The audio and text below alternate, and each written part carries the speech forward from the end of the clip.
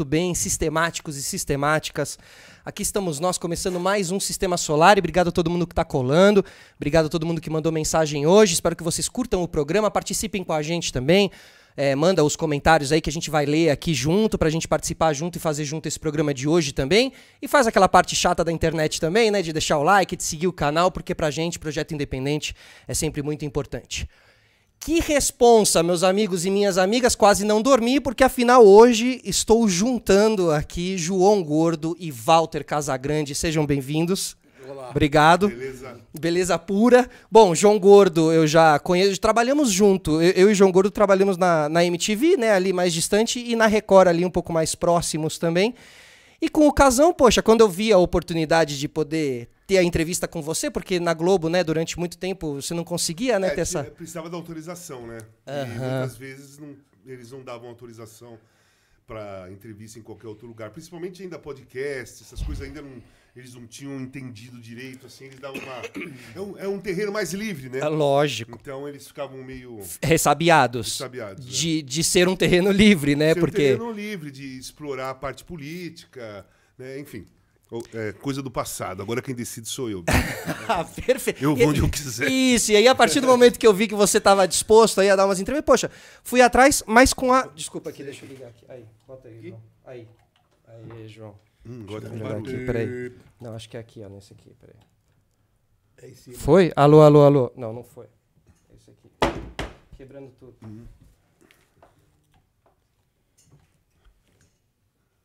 Tá dando um hub no Tá meu. dando um hub aqui, peraí. Aí, Agora sim. Alô. Era o buraco errado, João. Era o buraco errado. Muito bem. Então é isso. Quando eu vi a oportunidade de poder receber o Casão, eu falei, claro que seria muito legal, além de receber o Casão, poder juntar também com o João. E aí o Casão chegou aqui, eu perguntei, "Ô, Casão, você conhece o João Gordo? Vocês se conhecem. Sim. Bastante tempo. De- Já participei de um programa dele no 89, você lembra? Não. Eu- eu- não lembra? Você tinha um programa no 89. Antes de eu trabalhar. Eu tinha saído do 89 e você tinha um programa lá. E aí eu fui, participei de um programa. E a gente se conheceu por aí, né? Eu lembro. Eu fui no Panelaço. Eu lembro do, do Panelaço que você foi lá escoltado.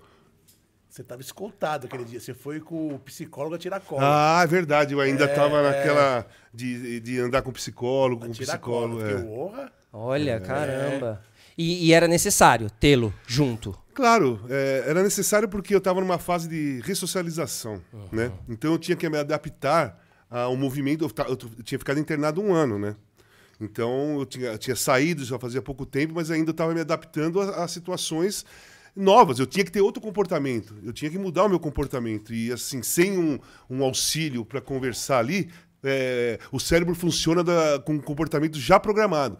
Você programa seu cérebro com, com os comportamentos que você teve de anos. Então, as alternativas que o meu cérebro dava eram sempre aquelas mesmas. Recorrer àquilo que eu fazia o tempo todo, né? Era usar droga, era beber e tal. Então, o psicólogo ali, ou a psicóloga, me ajudava a, a- a mudar o comportamento, aí me adaptando, né?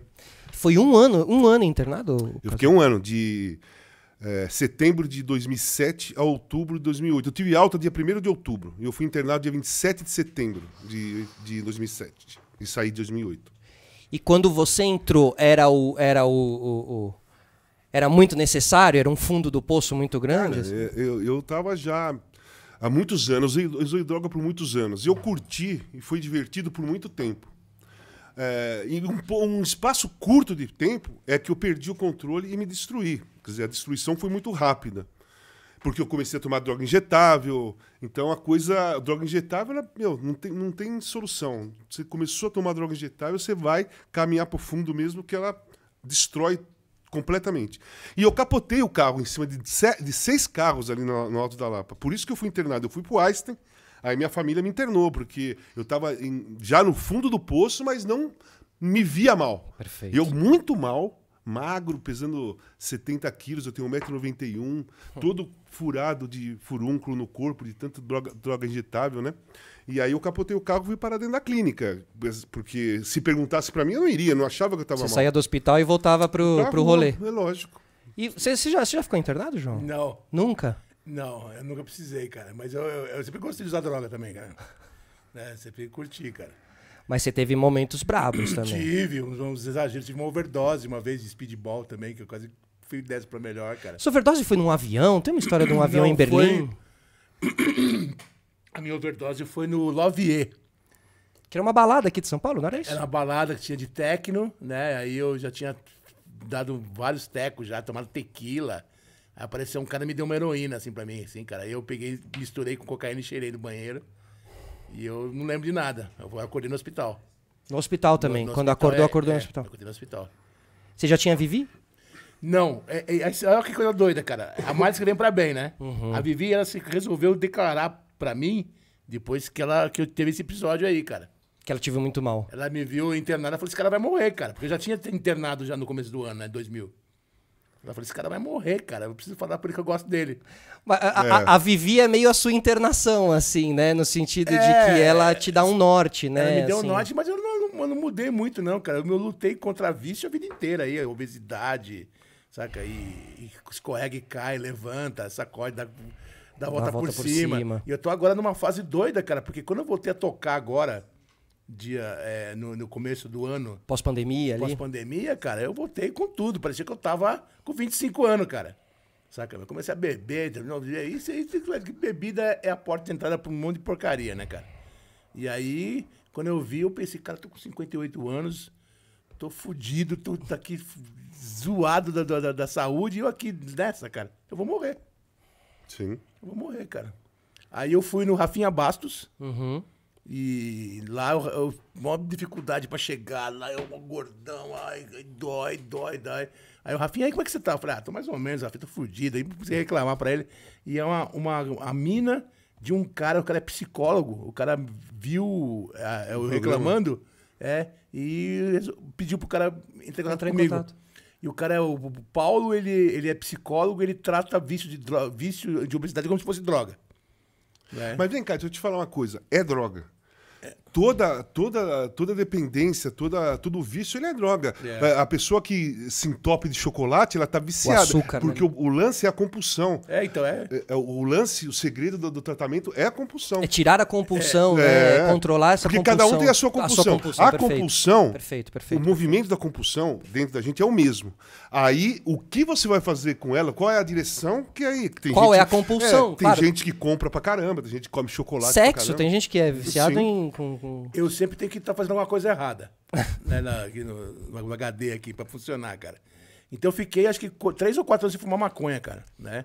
Mas em compensação, bebendo pra caramba, cara.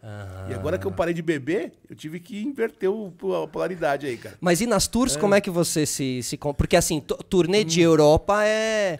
Bom, vocês dois tiveram experiências de Europa em dois lugares muito assim. O jogador de futebol na Europa e o rockstar, o roqueiro na É, Europa, o- assim, o né? punk rock na é, Europa, é. Exatamente. É. E assim, brabo, né? Duro Sim, e difícil. A, a minha é braba. A minha é braba porque eu sou o rei da festa, cara. Todo mundo quer me agradar, meu. Todo mundo me dá presente horrível. Falou? É, a última turnê que eu fiz foi a turnê com Brujeria. Aham. Que já dá, ó, ó, brujeria, né? Droga, não sei o quê, cara. E aí eu consegui ficar quase 18 shows sem beber, cara. Chegou no 19, show tinha 23. Bebeu por 18. Bebi por 18. Cara, os últimos 4, 5 dias eu fiquei acordado, nem dormi direito. É mesmo? É, eu vi o pé na jaca horrível, cara. Mas e como é que é o pós ali? Como é que é o, hoje em dia uma recuperação de um pé na jaca, assim? Cara, são três dias de ressaca ou mais. E, e, e agora eu, eu eu descobri que eu tava com ane- com anemia, cara. Saca? meu? Tava com. Sem. é, com, com deficiência de B12, de ferro, vitamina D, eu andando de bengala. Né? eu lembro. É, agora eu engordei quase 15, 15 quilos né, na pandemia, de, por causa de depressão, essas coisas todas, cara. Eu tava um bagaço, cara. E inclusive eu fiz o Rock in Rio agora, fiz de bengala, cara. Foi de bengala? Fui de bengala. Eu aguento- Aí eu cheguei pra, pra nutricionista e falei, "Ah, não aguento mais, cara. Falei, "Vou falar com o seu médico. O médico não tinha horário. Eu falei, meu, me passe umas injeção aí, cara. E ela me passou umas injeções aí nos, nos ferros. nos- Pra poder fazer o. Então, depois eu tomei, eu tive mais dois shows e eu to- tomei seis injeções. E na sexta injeção eu já tava legal. Pode ver que eu não tô nem usando bengala mais, cara. Aham. Né? Agora, festival, você chegou aí nesse Rock in Rio, Casão? Eu Não. fui no primeiro. Você foi no primeiro. É, eu fui o primeiro Rock in Rio. Eu fui, inclusive, no- na, na noite do Heavy Metal, né? Foi 19 de janeiro de 85. Olha. Que tocou Pepeu e Baby, White Snake, Scorpions, Ozzy e, Pepeu e e. É, começou com Pepeu e... Mas ia ser o Erasmo, cara. É. Ia ser o Erasmo. É que já, como o público era só de heavy metal, Total. eles já tinham tido problema em, nos dias anteriores. De chamar O pessoal outros, jogando, é. jogando coisa no Garrafa palco, no, né? no Carlinhos Brown, né? Carlinhos Brown, no mas o Carlinhos Brown foi, no, acho que num segundo. Lá Ah, no primeiro, chiaram muito com o Kid Abelha, que É, né? colocaram no mesmo dia de heavy metal, aí pegou. E nesse dia tava o Erasmo, os caras mudaram, colocaram o Pepeu e a Baby. Coitado do Erasmo, cara. Ele todo de cheio de rebite, né? Tocando aquelas músicas. Dizem que mulher é sexo fraco. O pessoal joga mesmo, cara. É, porque era separado por dias, eu não sei se ainda é, É. assim, assim. Hoje é o dia do heavy metal, hoje é Cara, o dia do Cara, mas na- na- na- no primeiro foram 10 dias. 10 Sem dias. pausa, porque foi Uau. férias de janeiro. Começou, era segunda, terça, quarta, quinta, sexta e sábado. Não é que era só final de semana. O primeiro É. Rock in Rio foi a semana toda. Você falou 95? 85. 85, 1985. É, eu fui num sábado, 19 de janeiro, que era o dia do heavy metal. Você jogava onde No nessa Corinthians. época? No Corinthians Tava- mesmo. A gente tava em pré-temporada, né? Início de campeonato. E no sábado nós treinamos de manhã. Eu, o saudoso Solitinho, que era um, um goleiro do Corinthians, e o, o Ismael, que também era um lateral, nós entramos no carro e fomos de. Foram pro Rock in Rio. Fomos lá pro Rock in Rio. Você sempre frequentou muitos shows, né, Casão? Assim, é, em Sábado São eu fui- Paulo. sábado eu fui nos Titãs, na volta dos Titãs sábado. Eu vou, vou, eu gosto de rock and roll pra caramba, gosto de punk rock pra cacete. Quando tem, me dá um estalo assim, eu vou no show, acompanho. Quando eu entro num ritmo, às vezes você dá aquela preguiça, você- eu fico perdendo o show, sabe? Ah, pô, não vou ensaiar. não. Mas na hora que eu vou no primeiro, Uhum. Embala. cara, aí eu embalo, eu vou no outro, vou em aí, todos, é. porque eu adoro aquela energia, aquele ambiente. Eu cresci com esse pessoal, né? Principalmente do rock dos anos 70, Carline, Simba, Casa das Máquinas, Tutti Frutti, aquela galera. Ibirapuera, toda. Ibirapuera fazia. Os shows eram muito no Ibirapuera, Muito- né? A AMB, A né? O Manuel Poladiano, a AMB. E o Lázaro, você lembra? O Lázaro era Ibirapuera. Então tinha essas duas divisões aí. E eu girava todo esse lado aí, daquele rock dos anos, dos anos 70, que eu, go- eu gosto pra cacete, Gosta, desde aquele, né? daquela turma também. E nessa época, João, você tava no. no- ou seja, esse, os shows em São Paulo que você frequentava era o quê? Era mais o Madame Satã? Era tipo essa. Cara, nos anos 70. essa noite Eu paulista? era criança. Eu Era. era criança. né? Eu, tinha- eu comecei a curtir punk com 12, 13 anos. Meu, meu, meu pai não deixava eu ir em show. O primeiro show de punk que eu fui foi em 1980. Foi em 70, é, é, Réveillon de 79 para 80. Primeiro show que eu fui. De Você lembra quem? Lembro, cara, era Condutores de Cadáver, né, o Clemente, esse pessoal, Clemente, é, claro. E o Kid Vinil Verminose, né? Foi o primeiro show que eu fui. E eu lembro dos shows que rolavam nos anos 70, cara, assim, show internacional. Ricky Rakeman, Teve no Canindé, teve, teve Alice Cooper, no AMB. É, você que ele deixou- inclusive ele deixou a cobra aí e ficou com o Carline. É, a história é. Ah, é mesmo? Aí, aí o lance foi o seguinte: o cara, eu falei, pô, Carlinhos, você ficou com a, com a cobra do Alice Cooper, caramba, ele falou assim, e aí, o que aconteceu com ela? Porra, ela morreu de fome. Pô, Carlinhos, você não alimentava ela? Porra, eu não comia, porra. Eu ia dar co- comida pra cobra. Já não comia, a cobra não comia junto, né? Que mais que tocou nos anos 70 aqui, cara? É, que eu me lembro foram esses, né? Te- te- Teve até Jackson 5. Olha, teve Jackson's Teve, Five. teve Jackson 5. Caramba, nossa, que É. belo show. E tinha as bandas nacionais, né? Que, que rolavam aí, cara, que era com o Tutti Frutti, bagulho Casa aí, das Joelho Casa de Porco. é. E eu era criança, era tudo Joelho né, porco. maravilhoso pra mim. Joelho de porco eu adorava, cara. Também, sou E o apaixonado. Joelho de porco da, da, da Som Livre, né? Eles, eles, eles, eles pegaram a onda do punk É. e fizeram sucesso. Lançaram um, livro pela Som- um, um disco pela Som Livre e fizeram um sucesso. Som Livre era a grande gravadora da sua É, época ali, né? é. Que o pai não era, não era o pai do Cazuza, não era Som Livre? Não tinha alguma Era. história? Era, né? Era Ah, isso, né? sei, é, eu acho que É. é assim. A, sim, pelo menos a tinha um- história que eu vi. Isso, é, que ele era, e que o, durante muito tempo o pai dele não quis, né, aceitá-lo como um grande músico ali e tal, porque é filho do dono da gravadora e tal. E no fim era, né? Era um grande músico. Eu lembro do assim. primeiro show grande que eu fui, foi o Queen no 81. Isso eu fui. No Morumbi. Você foi? Esse então? eu fui. Então, eu também fui em 81. Foi o primeiro, foi o primeiro show de estádio que teve no, É. no Brasil, que os outros eram Embi, Ibirapuera, aqui. Perfeito. O primeiro show de estádio mesmo. E aí, foi um showzaço. Pô, Cara, eu vi o Fred Mercury minúsculo, assim, cara. E não, não era tudo tosco, né, meu? Eu peguei, peguei um binóculo emprestado de um cara, assim, um minuto, assim, eu olhei, assim, o Brian May. Não tinha os devolvi. telões de hoje em dia. Não, tinha? Não, não, não. tinha- Não tinha Não, essa... tudo minuto. Ou você ficava colado lá no. Na grade, no, lá. No palco, né, Aham, assim, na é. cara, então você ficava lá atrás. Chegava cedo. Mas você sabe que quando eu fui pro Rock in Rio, é, eu fui pra, eu fui pra curtir. Uhum. Curtir mesmo. Então eu fiquei lá atrás. Eu e meus amigos, nós ficamos lá atrás. Tinha uma porra. Eu não, nem, nem pensei, nem tive barato de andar até lá pra ficar na frente. Já tinha telão na época. Perfeito. E o meu barato era curtir o Perfeito. som ao vivo ali. Com espaço, Eu- é, eu- andando, é, né? andando, Aham. tomando- pegava cerveja, vinha pra Perfeito. cá, andava pra lá, sabe? E ouvindo mais, Não curtindo ali a na viagem. muvuca, não, né? é, é, assim, eu não tinha essa. Eu nem, até hoje eu não tenho essa eh, ansiedade ou necessidade de ficar olhando o cara. Eu quero ouvir Ver o de cara. perto, né? É, eu gosto Aham, de ouvir. ouvir o som ao vivo. Isso eu gosto de ouvir o som. Isso sim me mexe comigo. Eu gosto de ficar ouvindo. Eu gosto de estar num lugar e sabendo que a banda tá tocando. Tá ali. Eu não preciso nem ficar olhando pra ela, mas eu sei que ela tá tocando ali. Isso eu curto bastante. E o Rock in Rio é um festival que acabou perdurando aí até hoje. Gordo, você, 41 anos de Ratos de Porão, certo? 40. 40 anos de Ratos 40, de é. Porão. É, E vocês nunca tinham tocado no Rock in Rio. É, eu, eu sempre falo que o Ratos não faz parte do rock nacional, né? Nunca fez. Esse rock nacional que seria, vamos supor, é, Raimundos, Pit, Uhum. um, um festival que tem essas bandas tocando. O Ratos nunca tocou, nem vai tocar, cara. Porque é uma panelinha ali, e a gente é muito underground, letras muito dedo no olho, é, e, né, e, e são porrada, assim, não faz parte, cara. Né? De, de- de um festival mais pop, assim, né? Essa É, coisa mais. é, então- cheio de anunciante, cheio de patrocinador. Nunca rolou. E eu achava, eu achava que a gente nunca ia ser convidado pra tocar no Rock in Rio. Em compensação, no exterior, já toquei em outros festivais muito loucos, cara. Fala alguns aí, você, você falou. Cara, tem um festival que a gente tocou uma vez é, em Portugal, que era o Azambujeira. Cara, a- a- a- as bandas eram é, Ratos, The Cure e Therapy. The Cure, caramba, que The legal. Cure e Therapy, cara. Uau. A gente cheio de pó lá, assim, os caras do Therapy perceberam que nós tava com, com droga, fica tudo amiguinho nosso. Os caras do Therapy, cara. E tem esses rolês de interna de festival, né? Que isso também é sempre muito legal, É, né? um- Cruzar com as bandas e Então, conhecer. um foda que eu, que eu fiquei traumatizado foi o Hellfest, né? Que é o maior festival de heavy metal do perfeito. mundo. Você tem umas camisetas do Hellfest. É, e aí o, a- o catering lá, assim, é tudo misturado, cara. Aí tava os Black Sabbath, tava o King Diamond com a cara pintada, sabe? É, os Slayer, tá todo mundo lá, assim, a gente no meio ali, cara. Porque é, entre os camarins tem uma área comum, né? Nesses festivais, Sim, que sim. dá pra você ficar ali, bebendo É, e tal. o... Como é que é o nome daquela banda lá? O James Addiction. O Aham. camarim deles era do lado do nosso.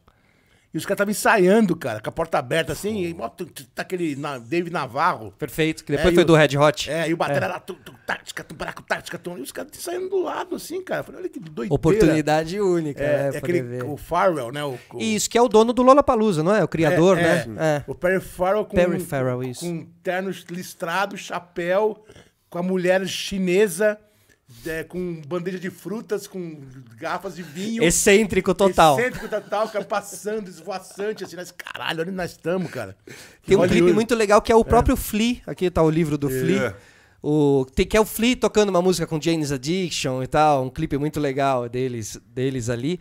Agora, João, na época de MTV ali, você mandou algumas bandas embora do estúdio ali por. É, por não... Brincadeira, cara. Brincadeira, né? Brincadeira, é. Tem alguma banda aí hoje em dia que você mandaria embora do estúdio, assim? Ah, não, não, tem banda que eu nem chamaria, cara. nem, que- nem queria, queria trocar ideia, cara, saca? mano? Hoje em dia, com essa, com essa postura política desses filha da puta aí, cara, nem, nem quero nem saber, velho. Não tem nem ideia, mano. Agora, muita gente fala do rock, né? Do rock, do rock, do momento do rock. O rock morreu, o rock. O que, que vocês acham dessa? Eu sei que você co- conhece muita coisa atual, como garimpeiro de música, assim. E eu sei que o rock não morreu, assim, né? Por que, que as pessoas falam isso, assim? Ah, porque é, uma, uma- é um momento de, de. Como fala assim? Uma, uma lacuna, não? uma- um espaço. Aham, entendo. Um momento desse, assim, cara. Mas não morre. Um hiato. Um hiato, isso mesmo, cara. Dis- esses discos clássicos vão vender pra sempre, cara. Um Dead Kennedys vai vender pra sempre. Um Led Zeppelin vai vender pra sempre. Um Black Sabbath vai vender pra... O neto do bisneto vai receber royalty do Black Sabbath. Sabbath Bloody Sabbath, tá ligado? Aham, perfeito. É, então não vai morrer nunca porque é muito ca- carismático o negócio, muito... E a atitude rock and roll, Casão? Você acha que... Cara, é assim, o, o que eu acho, ouvindo essa, ou você falar com o João, eu acho o seguinte: o que está interferindo também são as escolhas dos espaços. Né? Por exemplo, as TVs. Tudo bem, as TVs existem ainda. Não é só podcast, nada. A TV está lá. E os programas de televisão que tocam música, eles não escolhem mais o rock and roll. Né? As escolhas hoje estão sendo em cima de seguidores das redes sociais. Perfeito. Então, para fazer novela, para um monte de coisa. As escolhas nas televisões é assim, pô, o que, que nós vamos chamar para participar do programa do Luciano Huck? Pô, tem uma banda lá Tem bastante que troca seguidor. axé ou é sertanejo que tem uma porrada de seguidor. Então, nós queremos audiência, então nós queremos seguidores. Então, o que tá, não é isso? Então, o que está acontecendo? Ah, as bandas mais underground, aquelas bandas boas pra cacete, que não estão preocupadas com seguidores, estão preocupadas em fazer o rock and roll de verdade, elas são excluídas. Perfeito. né? Então, eu acho que isso está colaborando para essa sensação do que o rock acabou. Mas o rock é aquilo que o João falou. O rock já existe, já existe. O rock bateu, o rock já bateu o martelo na, é, na, na história, Na da história, humanidade. uhum, da humanidade. total. Já bateu o martelo. O rock and roll já tem muitos estilos que estão tentando bater o martelo, tocam mais, aparecem mais, mas ainda não carimbaram a passagem deles pela história da música. E... o rock and roll não. Rock and roll tá lá, que, é o que o João falou. Rock and roll tá lá, É. sabe? Você pergunta pra mim, pô, Casão, você gosta de gosto? Qual, qual banda, uma, uma das bandas que você mais gosta? Pô, vou falar The Doors, pô, gosto pra caralho, gosto mesmo. Pô, The Doors eu tinha 3, 4 anos de idade, 5 anos de idade. O cara morreu em 71, eu tinha 8 anos de idade. E muitos anos depois você continuou ouvindo. Então, e continua até hoje, porque é- é- é, o rock and roll ele é fiel. O, o cara que gosta de rock and roll, ele é fiel ao rock and roll. E é fiel às atitudes. As atitudes podem mudar porque nós vamos envelhecendo, nós vamos ficando mais velho, mais experiente, passa por um monte de coisa de- de- na vida. Então o seu comportamento, às vezes, ele fica mais brando. Você fica mais... Mas a cabeça funciona com uma intensidade do rock and roll Aham. e com a agressividade do rock and roll e com a atitude do rock and roll. Claro. que a gente Só é mais consegue- comedido, né? Sim, Porque a mas- experiência mas foi. por que velho roqueiro tem que virar velho reaça? Exatamente. Isso Então, aí e existe. esse. esse, Por esse... quê? Porque não era roqueiro.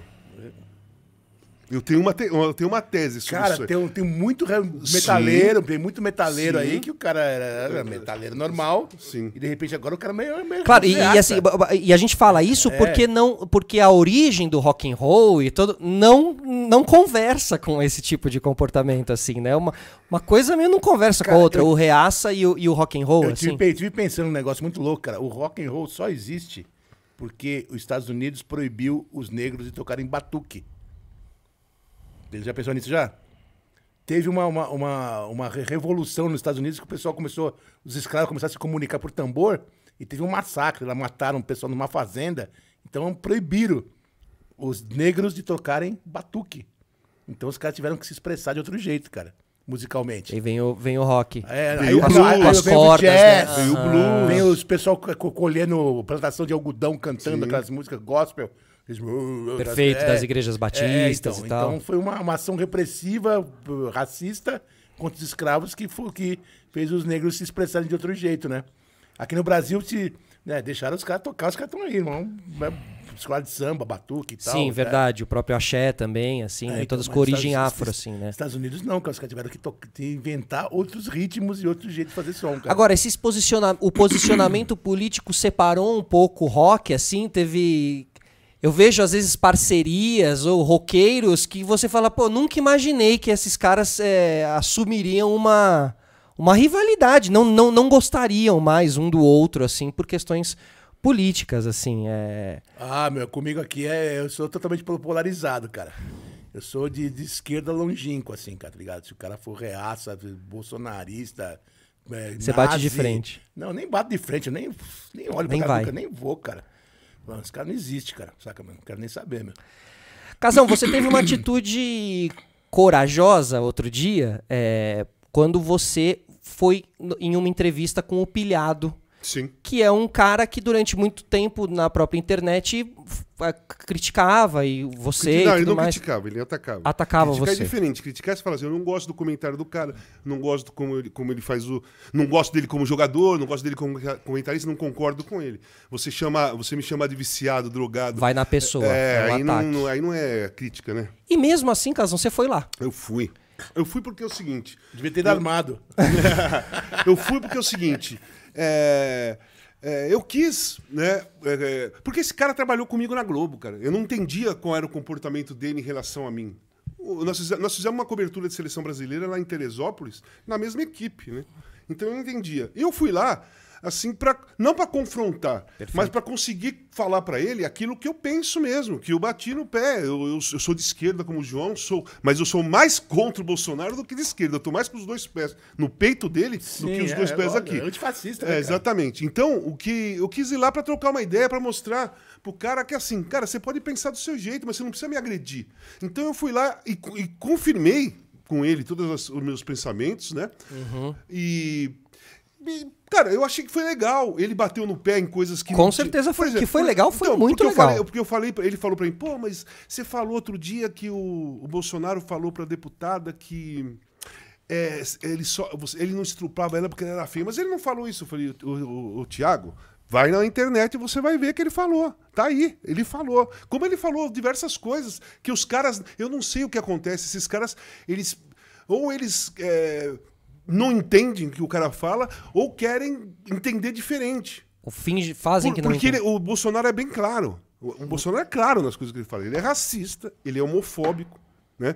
ele é, é, machista de agredir mulher. Né? Como ele agrediu essa fala com a deputada Maria da Penha, Maria, eu não lembro o nome dela, falou com a Vera Magalhães, com várias jornalistas. Ele é- a especialidade dele é agredir jornalista mulher, né? Ofender a jornalista mulher. Então, cara, não dá para aceitar um comportamento desse. Você pode até ser de direita. Eu não vou discutir isso. Mas você negar que as coisas que esse cara fala é demais. Aham, aí não, aí não, aí não dá. Sabe, você é de direita, beleza, você é de direita, você é reacionário, você é conservador, mas você não pode negar ou interpretar diferente uma coisa bem clara. As coisas claras que, que, que esse cara fala não é só ele, hein? a família dele, né? os, os filhos falam. Né? Então, eu, eu fui para debater mesmo, não fui para. Não agredi em nenhum momento, sou- eu sou uma pessoa muito tranquila, mas eu fui para debater. E você sabe? foi ficando um pouco incrédulo com essa essa não essa não por ele não enxergar realmente esse Não, cara, eu, eu não. eu não- eu- o, que eu, quis dizer é o seguinte: o que eu fui lá fazer é o seguinte. Primeiro eu quis saber por que, que ele fazia aquilo. Justo. Porque eu cheguei lá, cumprimentei aí Thiago, Vampeta tal, conversei com todo mundo, tranquilo, conversei com ele. Eles me, eles me convidaram, eles quiseram me contratar, Jovem Pan, para participar de programa esportivo. Aí eu não quis participar, eu não queria, porque eu não estava aceitando mesmo eh, trabalhar em programa esportivo. Aí eles quiseram me con- con- contratar, assim, para ir de vez em quando, pagar um cachê e tal. Cara, assim, eu fui no programa do, do Thiago e do Vampeta e pronto. Perfeito. Você- eu- isso não significa que eu vou trabalhar numa, numa emissora completamente conservadora, que distorce informações, que muitas vezes coloca fake news, né, como fizeram com a Vera eh, semana passada. E eu não vou, né, mas eu fui lá pra, por ser convidado e eu aceitei. Pronto, é ponto. Não fui lá para discutir nem para nada. Democrático, você- né, Você ouviu? Ouvi inteiro Você e viu, eu não, você viu que não, Não, discuti eu, nenhuma eu, vez? não, e eu achei ótimo. E foi depois dessa entrevista, inclusive, que eu estendi o convite, assim. Porque Ah, eu é? falei, ah, poxa, eu quero conversar com, com o Casão, até trazer para um outro plano Eu aqui sou- da conversa, sou- falar de eu- música. então, eu sou que nem o João, assim, em relação a eles. Eu não quero contato, eu não quero papo. Se eu Perfeito. tiver escolha. Mas quando, quando eu tive a oportunidade de ficar de frente com uma pessoa que estava me atacando, assim, sem motivos. Que paciência, hein, cara? não é, eu ele tive- foi, não, foi... Agora, o integrante da democracia corintiana, né? Então, assim, realmente, eu acho que você levou ali um pouco desse espírito democrático da, da conversa ali, né? Cara, é, o meu estilo, eu converso, eu dou minha opinião. a minha- As minhas opiniões são fortes. São, eu sei que são. Aham. né? Mas quando eu, eu dou opinião num programa que nem eu tô aqui, ou num texto que eu escrevo, ou em algum lugar que eu falo. Quando eu saio daqui, eu não quero conversar com política com ninguém. Eu não quero sentar numa mesa, tomar um café e o cara Ficar começar a debater disso. comigo sobre Bolsonaro. E, cara, eu não tô afim, eu não quero discutir. Não tem discussão, não quero papo. Eu participo de programas e escrevo.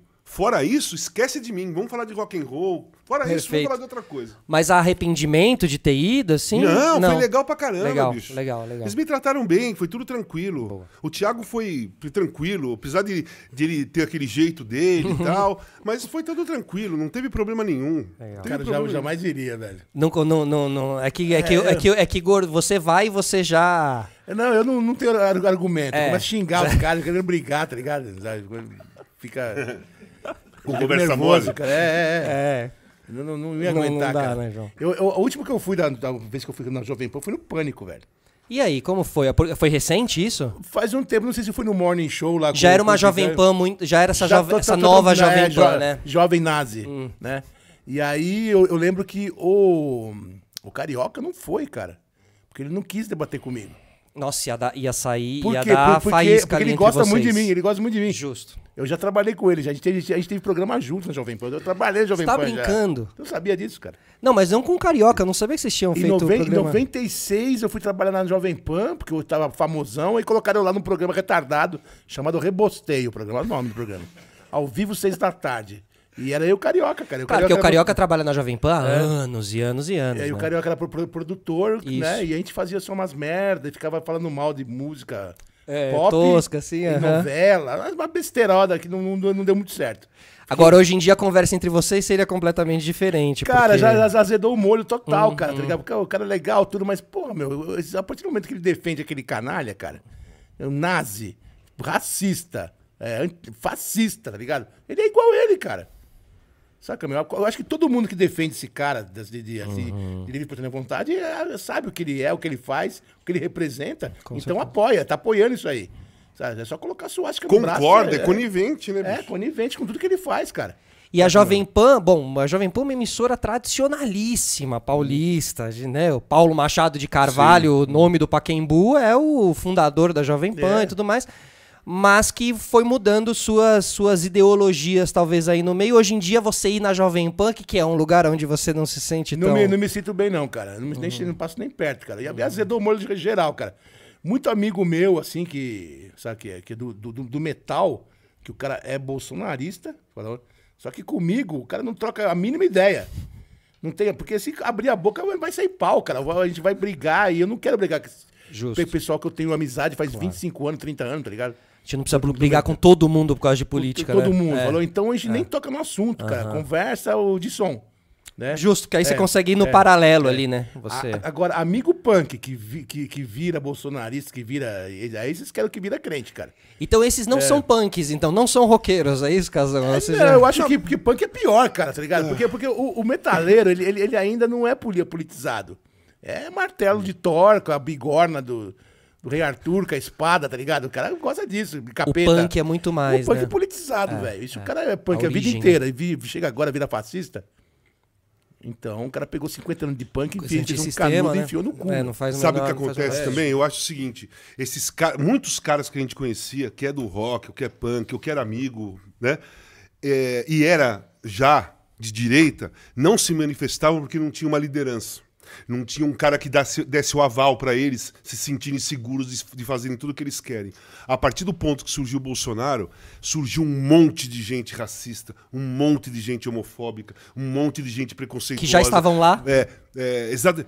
Já estavam lá, já eram assim. Só que- Convivia com a gente, João, né? É. E não, não tinham. é, o, o- a política brasileira não era daquele jeito. Total. Então esses caras. Não tinham saído do armário Eu- ainda. Não, não tinham saído do esgoto, né? Do. do, do- do, né, que os bichos escrotos saem dos esgotos, não tinham saído dali, né? Aí, quando os caras têm um aval de um cara que faz aquilo que eles sempre queriam fazer, pô, se o presidente faz, pô, Se sente fazer. representado. Então se sentiram representados. Mal representado. É, se sentiram representados. Então muita gente, eu acho que entrou nessa barca, viu, João? De já era daquele jeito, só que se enrustia, engolia, dava risada, tal, não sei o quê, mas quando surgiu uma liderança importante, presidente da República, os caras Uhum. se soltaram. Mas assim, eu, eu não vou negar, por exemplo, eu, com a criação que eu tive na periferia de São Paulo, meu pai militar, saca? Meu, eu, eu sempre tive, assim, é, ideias é, homofóbicas, piadas, saca? Claro. Não, não, não que eu quero, ah, eu odeio o gay, quero que ele morra, vou matá-lo. Era mais ah, ah, tinha aquele aquele baratinho, né? Que caracteriza. Sua homo- criação foi, foi, foi. Foi. na base da, da porrada, né, na João? base da porrada e assim, preconceito pra despreconceito, cara. É, frases racistas, tá ligado? Então eu me julgo, eu me considero assim um filho da puta em desconstrução. Saca? Uhum, Sim, tem até um trecho no documentário do. Uma entrevista que você fez com o Bial, e É. tem um documentário do, do Ratos. E aí, em algum momento vocês falam uma fala super homofóbica, assim, e você mesmo fala, É. puta, meu, assisto isso aí hoje, É, que não, a- merda, a- né? Aquilo aconteceu em. Pr- primeiro show do Ratos em BH, 1987, cara. Era um troglodita Outro da mundo. periferia, cara. Você gostava era de dar teco e foda-se. Você era louco de ácido ali, sabe? Moleque. Moleque, velho, saca? Uma coisa que hoje em dia não tem cabimento falar um negócio daquele. saca, meu? claro. É, nem, nem hoje, nem naquela época, né? Só que, né? Eu acho que o, o lance de você pegar e conseguir faz- viajar com a banda e conseguir abrir os seus horizontes e conhecer gente nova, conhecer o mundo, Culturas. te, te abre a cabeça. Aí você consegue conhecer gente, gente melhor e você vai se tornar uma pessoa melhor. Claro. É porque É. o- hoje em dia, né, João, você é super diferente, até mesmo do João que eu conheci em 2005, assim, na, na MTV. De você ser muito mais rebelde, de, pô, qualquer um era, né, tipo, eu era playboy pra você, assim, do dia, pô, esse é playboy. Total, bichinha, né? Parece igual bichinha, cara. Né, É, é- é um, é um pensamento que eu- hoje em dia, cara, isso é um perfil de bolsonarista, cara. O cara pensa assim. Aham, né, exatamente. não, não- não tem Perfeito. espaço. É, hoje em dia não tem espaço mais pra pensar desse jeito, com, com esses preconceitos todos, né? Né, Sempre tirando um barato, sempre com aquele preconceito tal. Piadinha, né? Sempre Piadista, é, meu. se colocando numa superioridade não, não ali. tem né? mais, porque a vigilância é muito grande, cara. E o pessoal de esquerda é tão chato quanto os de direita, cara. Os extremos. Sim, Né? Os, os fiscal. Tem fiscal de tudo, cara. de tudo, é. Os extremos É. não, não contribuem pra política, É, assim, né? E, e eu, eu, eu abri o meu, meu, meu coração aí, juntei com a minha esposa, e esse lance que a gente faz aí de solidariedade aí, faz muito bem pro nosso ego, cara. Solidariedade vegan, É. É. né? Conta mais, com, junto com o padre também, o padre Não, o, Júlio o- o, Lancelotti. padre não tá com nós, não, que a Tá. gente segue por nossas pernas, né, cara? Perfeito. O padre é só camarada. que é você assim. e a Vivi, né? É, eu e a Vivi, é mais a Vivi do que eu, porque eu fico na, na- na- no, no- no- aí na- no, back. É que a Vivi fica no front, a Vivi, Vivi, é... Vivi fica no fone, a Vivi vai pra Cracolândia, cara. Aham. Ela, ela- Craco resiste, sabe? Vidas da Craco importam. Ela é mó e, e eu entendi bastante, né, a, a luta deles pra, pra dar uma, uma vida melhor pra esse pessoal da Cracolândia, porque são gente, é gente como a gente, velho. Pois é. Saca? né? Ali não é, ah, esses viciados. Porque É. o, o plano de um governo nazi desse é pegar, colocar todo mundo no campo de concentração e vir colocando o pessoal escondidinho na câmara de gás de leve pra matar, porque não tem outro jeito, cara. Mas passa pelo centro, tá todo mundo lá abandonado, o centro é, da cidade. É, tá é. E aí ela tem esse pessoal aí da Craco Resiste e tal, que, né, que dá uma vida mais digna pro pessoal da Craco, cara. Porque é, são, é gente doente. Precisa de ajuda. Exatamente. Tá? São gente que precisa de ajuda, É, cara. não precisa, não precisa tomar porrada nem ser preso. O lance é que as pessoas, muitos acham assim, pô, os caras estão lá porque querem. Eles estão lá porque gostam. Não é, cara. Não é. A grande maioria não quer estar lá, mas não tem mais força para sair de lá. É completamente dependente da, da- do crack, cara, da pedra.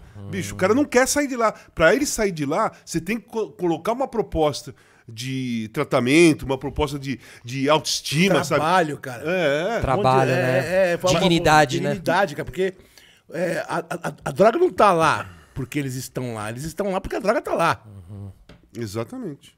saca? É E se a louco. droga mudar de lugar, eles mudam Eles de lugar. mudam de Muda, lugar é, também. é. Você chegou a, a- a passar por Cracolândia, assim, visitar e... Não, e- sim, e- visitar. Eu nunca usei crack. Aham. Nem- nunca cheguei perto. Mas, é assim: é, é, o tratamento, principalmente quando você chega no fundo do poço de qualquer droga, foi meu caso também, começa pela, pela autoestima, né? Pela autoestima. Então a pessoa tem que. Pô, você tem que dar um, um lugar para tomar um banho, fazer uma barba, cortar um cabelo, deixar a imagem dele diferente. Porque se você pegar uma, se você pegar uma máquina e tira uma foto, uma, máquina não existe, né? Celular. Vai lá e tira foto de uma pessoa que está lá na Cracolândia. Aí você pega essa mesma pessoa e leva para um lugar e dá banho, consegue, né? Ele corta o cabelo, um faz negocinho. a barba, come um negocinho, compra, dá uma roupa limpa para ele e coloca ele na frente do espelho, depois mostra a foto que você que você tirou quando A ele estava na diferença é gritante. o cara vai se entusiasmar. O cara não vai querer ser esse. Ele vai querer ser aquele do espelho. Perfeito. Então, um, a recuperação desses caras ela tem que começar pela autoestima. pelo, pelo, pelo, pelo cara se olhar no espelho e gostar da imagem. Voltar a se ver, né? Se ver e gostar daquela imagem. Porque é, é gritante, quando, porque lá quando eu fui internado, você chega, os caras se filmam. O, o do jeito que você chega, tem fotografia. Ah, é, tem um depo- registro. é, depois vai passando o tempo, eles vão mostrando o, como você chegou e como você tá. Você vai, você vai ver a diferença. E você começa a gostar de você, né? É, e os caras de lá, eles não gostam deles. Porque a, a gente se destrói porque a gente não gosta da gente. Chega um determinado momento que você é, se- perde o controle e usa muita droga ou bebe álcool sem parar, tal, tal, tal. Porque começa, você começa a perder o amor em você mesmo. O Você não tá encanto. mais ligando pra você. Porque se você gosta de você, você não vai se destruir tanto. Você vai usar droga? Vai, vai curtir e tal, mas você não vai se destruir. E Uhum. a gente, quando perde o controle, a gente se destrói. Aí você perde é, o amor por você mesmo. Perfeito. Você não consegue nem gostar do outro, você não gosta de você, você se afasta de pais, se afasta de filhos, mulher, namorada, amigos. Você se afasta, porque você começa a não se sentir bem mais perto dos outros, porque você não se sente bem com você mesmo. É um trabalho muito forte, muito E o amor é complicado. químico também, né? Nesse sentido, assim, você começa a trabalhar esse amor, esse auto-amor, esse amor pelo, né, a família, também, tem- ó, vai te estimulando como- também, Não é. tem como você gostar de você, você olha no espelho, você tá Destruído, um palito, imagina. barba desse tamanho, mas de tá largado, cabelo, sabe, largado, mas assim, todo embaraçado, fudido. Você olha no Uhum. espelho, você não vai gostar daquela imagem, mas você não sabe como que é uma outra imagem. Você não sabe, você não tem o confronto da imagem. Perfeito. Porque quando a gente usa, por exemplo, por exemplo, eu, uso- eu usei droga pra cacete. Eu não lembro como eu era antes de usar droga. Porque eu comecei a usar droga com 14, 15 anos, fumar maconha. Daí fui adiante. Então, de- antes dos 14 anos, eu não me lembro como que eu era antes dos 14 anos. E eu usei droga por mais de 30. Eu fui me conhecer mesmo de verdade, o que eu penso, o que eu falo, com segurança mesmo, depois que eu parei mesmo de verdade. Depois que eu parei de tudo, não, uso, não bebo, não fumo, não falo nada. Então ali eu comecei, caralho, Porra, olha. Um eu- eu- reinício ah, mesmo, Pô, né? eu gosto das pessoas, Aham. eu, tenho, eu tenho amor, eu tenho não sei o quê. Sabe, porque eu fiquei perdido por muito tempo. E essas pessoas lá na Cracolândia, elas não têm a mínima ideia o que, que elas sentem. Qual- como, que ele, como, ele, como é o sentimento deles. Eles não sabem se amam, se não amam, se gostam, se tem raiva. Você não tem. Porque você fica preso só a uma coisa, a pedra. Você vive para aquilo. E por isso esses trabalhos. Pontuais são muito importantes, né? Que é um, um trabalho que deveria estar sendo feito por um por Governo, outra. governo federal, governo estadual. Com certeza, sabe? com tem que certeza. oferecer uma. A política de No mínimo, no mínimo, ah, o governo tem que oferecer possibilidade daquela, daquelas pessoas se recuperarem. Exatamente. Porque você não faz nada, eles não vê chance nenhuma. Eles vão, eles vão sair de lá para onde? A, a É. família abandonou. Há- muitas, a família abandonou, não tem Aham, mais jeito. sim. Só complica quando, vai, quando a família ficava com o cara em casa, só complica, fugia, roubava dinheiro para comprar. Aquela puta confusão. Muitas famílias abandonam, né? O cara vai fugir para onde? O cara vai ficar lá na Cracolândia. Claro, tem Aí ir. quem tem que dar uma chance? Quem tem que dar uma chance? É o governo. O governo, o governo tem que certeza. oferecer uma possibilidade. Mostrar. É, claro, é claro que os trabalhos, como o João faz, como um monte de gente faz e tal, vai dando uma, uma, uma esperança, né? Faz a pessoa se sentir gente. é. Faz a pessoa, de vez em quando, se pertencer. Ela se sente pertencente a alguma coisa. Agora, é o governo federal que tem que mostrar uma estradinha ali, tem que estender a mão, né? Sem estender a mão, ninguém faz E são nada. muitos, Porque né? é Não o são- seguinte: não são o poucos. João não consegue salvar ninguém, nem eu, nem você, nem nada. A gente, a gente pode colaborar e ajudar em alguma coisa. Agora, salvar, Trabalho mesmo, né? salvar nós não vamos conseguir. Nós vamos, a gente consegue dar uma condição, co- fazer eles comerem, de repente, sabe, fazer alguma coisa de higiene e tal. Mas a estrada não, não é com a gente, cara. Cara, eu, me- eu me salvar já é difícil, já me, eu me cuidar, cara. Então, É muito difícil, cara. Lado certo da vida errada. É, eu sempre tô pisando na bola, cara. Sempre tô fazendo merda, cara. É, e isso aí depois de velho, depois de casado com filho, saca, mano? É, é, é, é, por exemplo, o, o, o Casão usou droga a vida inteira, só que ele não podia falar abertamente. Com o jogador de futebol e tal. Eu não, que é roqueiro, Pode cara. crer. Eu enchi cheira Fa- mesmo. fazia parte né? do, Vai tomar no É, cu. do, do, do, Do personagem, é, do cara A gente e tal. cheira mesmo, ideologia. dá ácido mesmo, e fa- falar abertamente, conta as merdas abertamente. Eu nunca tive vergonha. É verdade, né? Tem essa grande não- nunca diferença entre vocês, esconder. né? Eu nunca, eu nunca precisei esconder que eu era, que eu era muito louco, cara, tá ligado? É. Tem, tem até assim a, a lenda de quem trouxe o crack pro Brasil foi o Ratos, né? Ratos de porão? É. Como assim? Tá aqui no livro, cara. Foi que quando, em 1990, quando a gente tava fazendo turnê na Itália, uma amiga nossa chamada Maria Laura ensinou a gente a fazer crack, cara. Ensinou a fazer É, na Europa isso? é, na Itália. Em 1990. Ah, duas de bicarbonato, uma de cocaína. né? Pode É, dar essa é, dica. é. E aí, cara, quando a gente voltou pro Brasil, cara, é, o, o, o, o- Batera, ele quebrou o pé de skate. E a gente ficou lá com, a- com o know-how da, da pedra, com dinheiro.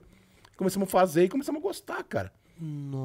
Isso em 1990, cara. 91, 92, aí a banda desandou. Os dois da banda ficaram muito loucos. Sério mesmo? É, Foram pro. Foram pra, foram pra virar viciado em crack. Eu só não fiquei viciado em crack porque eu tinha uma namorada na época que não deixou eu, eu ficar viciado. Se não, você acha que. Mas lá tá delícia, cara. Tá gostando também, cara. Mas Não é bom, cara. É gostoso, cara. Né? Não é uma apologia. Se fosse ruim, ninguém fumava Com certeza. Se tem Não. tanta gente ali, é É, porque. é, Quando eu, quando eu faço palestra, logo no início, eu falo que assim, ó, gente, a droga não é ruim. Que ninguém se vicia em coisa ruim. Né? Se tivesse gosto ruim, se você passasse mal, se desse essa de vômito, se, se acabasse com você, você, ia- você não ia experimentar de novo.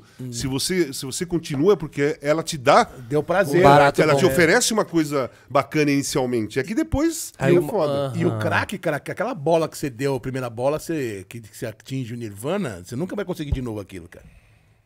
A- a- a- você vai estar sempre em busca em dessa. busca dessa, de- dessa sensação que é a primeira que o crack deu, cara. Eu achava maravilhoso, cara.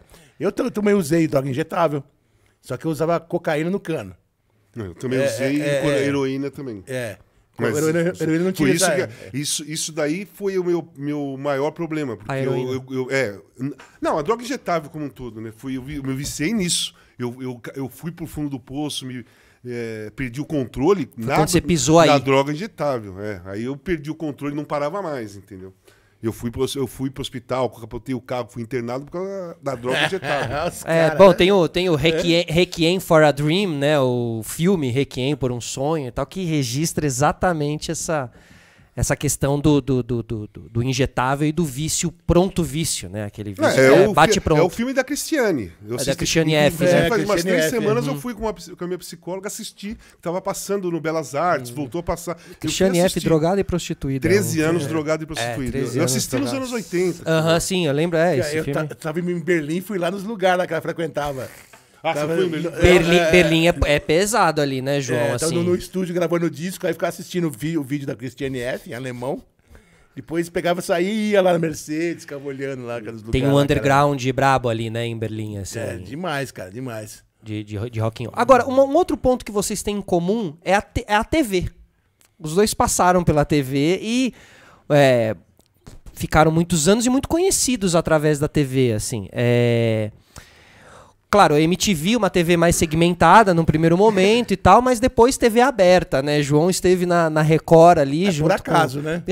Por acaso, cara. Foi parar lá na Record, Graças ao Mion. graças ao Mion. É. Um beijo pro Mion. E Casão, quantos anos de Globo? 20 anos? 25 de 25 Globo, um anos. ano e meio de ESPN, mas sabe onde foi meu primeiro programa de televisão? Foi na MTV. Era o. 1994. Com o Trajano também, não? Não, não, na MTV. Eu, Astrid, Nando Reis e Marcelo Fromer. Chamava Bola na Mesa, era durante a Copa Maravilha. de 94. Olha. E a gente não tinha imagem, a Globo não dava É. imagem. Então, por exemplo, gol do Brasil. Não, o Bebeto foi correndo, fazia com os dedinhos. Assim. O Bebeto correu, cruzou, entrou o Romário na TV. Assim, as- Jeito as MTV, né? Jeito as imagens MTV. eram os dedinhos, sabe? E sempre tinha um convidado, né? Nós fizemos os Jogos do Brasil, não foi a Copa toda. Jogo do Brasil, acabava o Jogo do Brasil, a gente fazia ao vivo bola na mesa.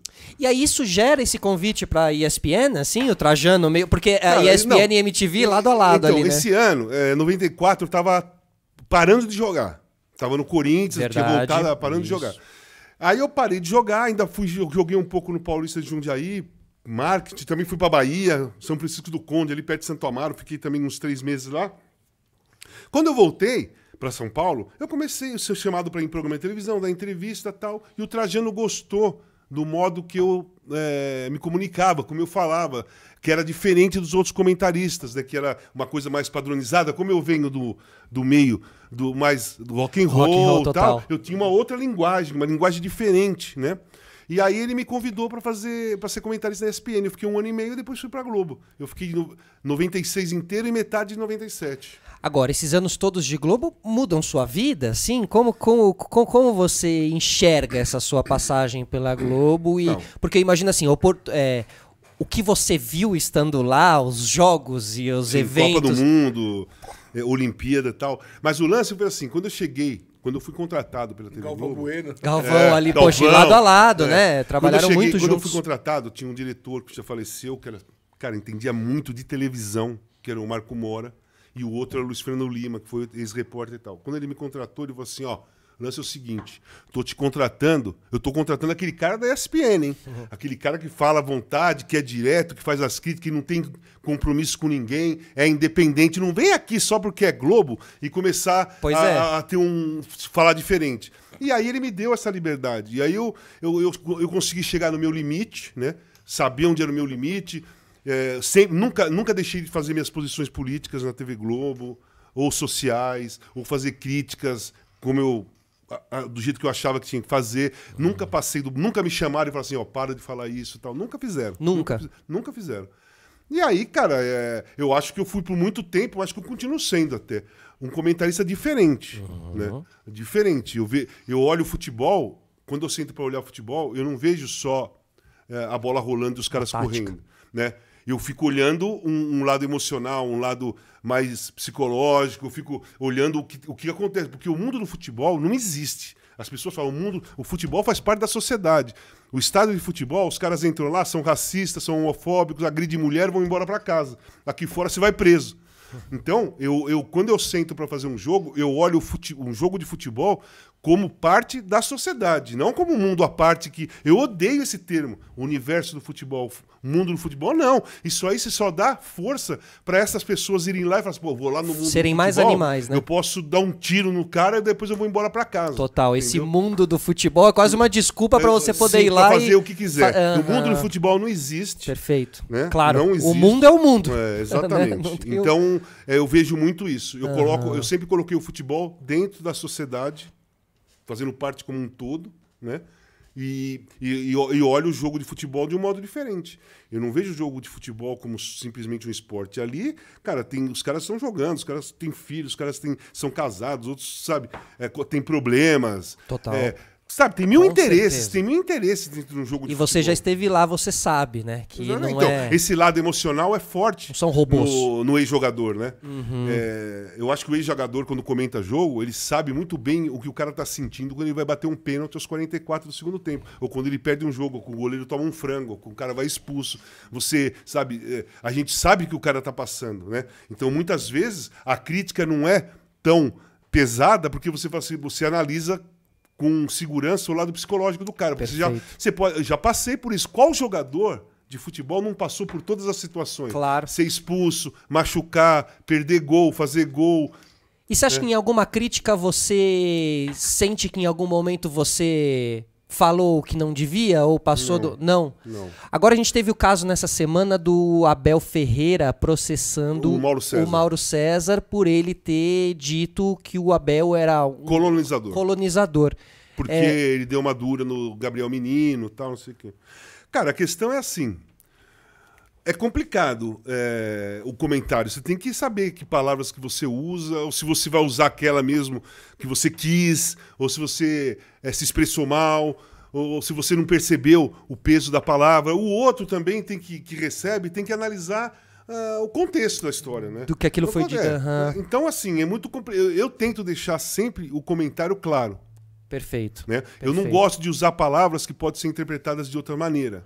E quando eu uso uma palavra que eu mesmo fico em dúvida, eu continuo o comentário e explico o que, que eu estou pensando. Porque o risco é muito grande. De ser mal interpretado Mal por aquela interpretado, palavra. Usar, usar a palavra errada, Uhum. muitas redes sociais, sabe? Os caras recebem, os caras recebem a mensagem na hora. O João Ouro tá, tá jogando o primeiro tempo, pô, o João tá mal, pô, não consegue dominar uma bola. cara vê no vai- intervalo. Ele, ele vai pro intervalo, tem mensagem no Já celular vê. dele. Pô, o cara. E aí a mensagem, a mensagem nunca é assim, pô, o Casagrande fez uma crítica que você não tá. Pô, o cara te massacrou, o cara. Sabe? Então tem gente pra pôr fogo nessa parada. A- a- o comentário que deu mais polêmica, acho que até hoje, foi quando eu falei que o Neymar era mimado. em 2017. Aí caiu o mundo, parecia que eu tinha xingado o cara. Aí é, eu percebi depois, depois de um tempo, depois da Copa, né? é, teve um programa lá, é, Grande Círculo, com o pai do Neymar, eu estava convidado. Eu, eu era um dos entrevistadores, né? E o pai do Neymar fez uma carta Perfeito, completamente é, é, preconceituosa, logo depois que eu falei que o Neymar era mimado. E eu percebi que os caras não sabiam o que significava mimado. Os caras achavam que era uma ofensa. Mimado é o cara que não assume responsabilidade. Mimado é aquele cara que, pô, tem qualquer problema, corre pros pais para pedir ajuda. Isso é mimado. Cara, então, quer dizer, se eu tivesse xingado o- a mãe do Neymar, filho, não sei o quê, vai tomar não sei aonde, tava tudo beleza. Mas como eu falei mimado, os caras caíram matando. E mimado não é ofensa. Claro, não foi colocado em nenhum lugar de ofensa. Não, Não, mas não é mimado, não é, não. né? Eu, não é. eu fui mimado. aham, eu fui aham, mimado. justo. Fui mimado por Claro, muito tempo. eu também. O filho mais novo, fui jogar futebol, não precisei trabalhar, não era rico, mas meus pais falaram, pô, ele gosta de futebol, deixa ele arriscar. Fui e tal, então eu virei um cara mimado. Era o Valtinho, minha mãe fazia tudo por mim. Eu era um cara mimado. Aham. Então, qual é o problema de você ser mimado? Perfeito. Agora, eu falei que era um jogador de futebol que estava sendo mimado. O que, que significa isso? Meu, o cara estava se comportando como criança, sendo um jogador de seleção brasileira. Um cara adulto, né? Um cara que você tem que ter responsabilidade. Você não pode ficar chorando e ir pro pai dentro do campo. Você não pode ficar se jogando no chão e rolando porque você toma um pontapé dentro do campo. Essa né? é a melhor, cara. Não é? Esse fica rolando no chão é a melhor, cara. Virou meme em tudo que é lugar. Virou, né? virou naquela Copa do Mundo ali. 18. Né? Agora, o, o, o, o Ney- criticar o Neymar também é, é algo que o, a galera cai matando, assim, também, né? É Um... Cara, é assim, a- a- a- o problema é o seguinte: essa semana eu escrevi até um texto sobre. Não sobre diretamente a ele, porque eu tava falando do Rodrigo do, do Real Madrid. Aham, perfeito. O Rodrigo fez um gol que ele driblou quatro caras e o último ficou caído. Ele deu um passe, deixou o Vinícius Júnior na cara do gol. O Vinícius Júnior fez um gol. Não se falou nada. Não se falou nada. Eu escrevi cobrando isso. Ó, tem, aqui o comentário no Brasil tem dois pesos, duas medidas para quem jogar fora. O Neymar deu um passe outro dia, ficou a semana toda. Falando do passe, de passe. cinema, passe não sei o que lá, passe não sei o que lá. E o Rodrigo. Arrebentando. Exato, com o campeonato francês, o, o Neymar Espanhol. arrebentando no ca- campeonato francês, o outro arrebentando No espanhol. espanhol, no espanhol e o peso era diferente. Mas são perfis bem diferentes, né? Porque o Rodrigo não é tão midiático assim, né? Não, mas tudo bem, ok. É isso que eu não consigo entender. Perfeito. Beleza, você escrever do Neymar vai ter mais visibilidade? Mais gente vai ler? Mais gente vai clicar? Mais gente vai curtir? Beleza, mas o papel do jornalista não é esse. Não é isso. O papel do jornalista é analisar o que o cara tá fazendo. Pouco importa se esse cara não vai me dar visibilidade, nem vai ter curtidas, nem vai ter nada. Perfeito. Mas o cara fez uma puta jogada e um puta gol. Eu não posso ignorar isso e ficar falando só de um. O Neymar tá muito bem nesse ano. Ele começou a temporada bem, apesar que eu tenho ainda aquele pé atrás, que é o seguinte, campeonato francês não é parâmetro. Né? E a- o parâmetro na Champions é só quando começa o mata-mata que você começa a encontrar time pesado. Então a primeira fase, todo mundo deita, todo mundo faz, né? Então ainda tem um pé atrás. Vai ser na tá bem. Copa mesmo, né? Pra ver se ele tá Exatamente. mesmo, porque até a Exatamente. Copa vai ser a primeira fase dessa Champions League, Sim, né? E sim, aí não é a vai. Copa. real- É a Copa, É a né? Copa. Realmente, te- teoricamente, aí a Mas, última assim, Copa mas assim, dele. não pode negar, ele tá bem, tá jogando bem, parece que tá treinando pra caramba. Isso aí é inegável, mas até aí. E eu- o Vini Júnior? Cara, o Vini Júnior, o Rodrigo, o Anthony, esses moleques aí, eles são bons pra caramba, mas você tem que ver, na hora que entrar na Copa do Mundo, se a- o bicho não vai pegar, se o peso não vai, não vai, não vai ficar muito acima deles. Sabe, é, Copa do Mundo, a primeira vez, não é uma coisa qualquer. O mundo todo tá te olhando ali. Cara, os, os caras não têm noção. Imagina, Às vezes né? você entra no, você vai, você entra no campo, Copa do Mundo e tal, pá, e tá, toca o hino e tal, aí você para e fala assim, caraca, esse jogo, o mundo todo tá vendo esse jogo. Todos os jornalistas do mundo tá vendo esse jogo, principalmente quando é a seleção brasileira. Os analistas. Cara, aí, se os caras pensarem dessa maneira, se passar isso na cabeça do moleque, o moleque fica... Ferrou. Pode ficar travado, entendeu? Chora no hino. Aquele Brincadeira. 7x1 lá, eu acho que traumatizou a galera forever, cara. Ah, total. Não é não? Pô. Não, e tinha todo emocional de você jogar no Brasil, né? A Copa no Brasil, É. né? De dar show e de passar por cima dos ganhar. caras. E, é. Hexa e tal. Aham. e você estava lá fazendo a transmissão, provavelmente, eu né, Casão? 7, tava no 7x1. Eu fiz Copa de 98 a 2018. Pela Globo, né? Agora eu vou fazer pela Folha e pelo UOL. Ah, você faz essa Copa vou, também, vou então. pra lá dia 16 de novembro. Mas TV aberta, assim, não, não, não, não- qual, que é o, qual que é o resumo da ópera depois de tantos anos, assim, claro, Sport TV, mas muitos anos de, de, de Globo. Cara, é assim, eu- esse ano tá fora dos planos até dezembro, Aham, né? aham. Porque eu vou, tô, me dedica, tô me dedicando mesmo a escrever, a participar de programas. Eu, tô- eu aceitei todos os programas praticamente. Legal. Que fui convidado. Tem um monte ainda para fazer, já marcado. Então eu vou dar entrevistas e vou fazer meus negócios escrevendo. O ano que vem é outro, é outro panorama. Outro- Tem, o- tem o detalhe da eleição também, né? Eu sou um cara que todo mundo sabe qual é a minha posição política, a minha crítica ao presidente. Gra- eh, todo mundo sabe que eu vou votar no Lula, já falei, gravei vídeo, todo mundo sabe. E isso me coloca uma barreira. Não tenho dúvida. As pessoas pensam duas vezes. De, de algumas emissoras, você Sim, diz, de alguns a- a- espaços. A, grande maioria, emissora de televisão. Aham. É, porque, porque eles acham que eu sou que eu vou, que eu sou eu vou lá trabalhar e vou ficar falando de política. Se não me perguntar nada, eu não falo, sabe? Se não me perguntar da Globo, eu também não falo. Perfeito. Eu respondo perguntas. Perfeito. Você não, me, você não me perguntou como foi 25 anos de TV Globo? Eu respondo isso. Se você não me pergunta, eu não vou sair falando da TV Globo. Se você não me perguntar em quem eu vou votar, eu não vou falar. Que se eu sou de direita e esquerda, eu não vou falar. Então a- a- as pessoas ainda têm aquela imagem que acha que eu vou fazer política. Então eu acho que eu tenho uma- as portas um pouco fechadas nesse momento. A partir do ponto que tiver eleição e esse cara perder, se, possível, no primeiro turno, eu acho que aí a situação melhora para nós. Você vai, vai pensar em Rede Globo, cara. A Rede Globo fez um grande des- desserviço desde sempre, né? Pro Brasil, cara, né? Com mentira, Jornal Nacional, né? E vai, enrola aqui, enrola ali, cara. Mas é um lugar, é um lugar que tá mais suave pra mim, porque eu não vou no SBT Claro. nem fudendo. Eu não vou na Rede, Rede TV nem, Nem- fudendo. Eu não vou pôr meu pé na Bandeirantes nunca mais também, cara. tá Na? Band, na Band, a Band É, é. bolsonarista, não é? É, eu não, eu não Eu acho a é, Band. Eu acho que não é tanto, não. Não. Eu acho que Rede TV, total. Total. SBT, total. Total, e. Record. E a Record, né? É, Record muito menos, cara. Mas quando a gente esteve na Record, essa questão política não, não, não- permeava, assim. Quando os você trabalhou na debates. Record? Que ano Eu você trabalhei em 2010 a 2013, 2014 você ainda ficou mais ali. 2014, é, 2014, assim. é. Logo no primeiro mês já sabia que eu tava errado ali já. É aquele negócio. Faltava o líder para eles. É aquilo que eu falei antes. Sim. A hora que surgiu um líder, todo mundo, as, te- eh, as televisões que eram de direita, mostraram a cara. Mostraram, é, sim. Hoje em dia tá assim, tudo muito bem desenhado e definido. A né? minha sorte é que não tinha muita rede social naquela época, né? Porque ninguém... Tinha Twitter, mas foi fraco Fraquinho, até né? pegar no, no- no meu pé, cara. Mas eu fui bastante zoado, cara, assim, né?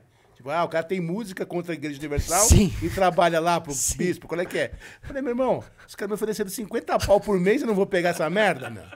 Mas é que Eu quero cara de trouxa, cara. Eu não sou, não sou trouxa, cara. Eu- nesse caso eu É até. punk, mas não é trouxa. né? É, eu, eu tenho minha ideologia, mas, porra, eu preciso de grana igual exatamente. você. Não, cara, porque assim, você é punk, eu, eu fui punk com 20 anos, com 19, cara. Com 50 anos, tiozinho pa- paga, pa- paga imposto com filho na escola, sabe? Que tem que cuidar. É que as pessoas taxam, né? Vocês estão É. falando uma coisa que é muito real, assim, muitas pessoas enxergam vocês de, de maneiras erradas por, por, porque- por, por, por, por selos que são colocados Cara, dentro uma dessas... coisa, durante a pandemia, né, quando o futebol voltou, eu fui contra o futebol, a volta do futebol, deixei claro nos programas da TV Globo, e a TV Globo que transmitia os campeonatos, eu fui contra, voltou o campeonato, eu comecei a, a- a criticar a falta de vacina, número de mortes, as falas desse presidente obrochável, porque ele não é imbrochável, ele é brochável, né? Quando ele aparece na televisão, ele brocha o ambiente, Cara, é, brocha, né? brocha- É, não é brochável? Brochável. Então, aí- e, e o lance assim, eu fui, eu fui, eu fui criticando, tal, fui me posicionando, e aí é, os ataques começaram a acontecer dos bolsonaristas, né? E, assim, e os ataques eram esses que eu falei agora há pouco. Viciado, tal, tal, tal, tal, tal. Eu sofri um pouco emocionalmente num determinado momento. No início, principalmente, que eu não, eu não tinha conhecimento de redes sociais. Lendo isso Eu não e- sabia que tinha robô. Eu achava que todo mundo que tava. Todos aqueles ataques eram de verdade. Eu falei, caralho, todo mundo me odeia, não é possível.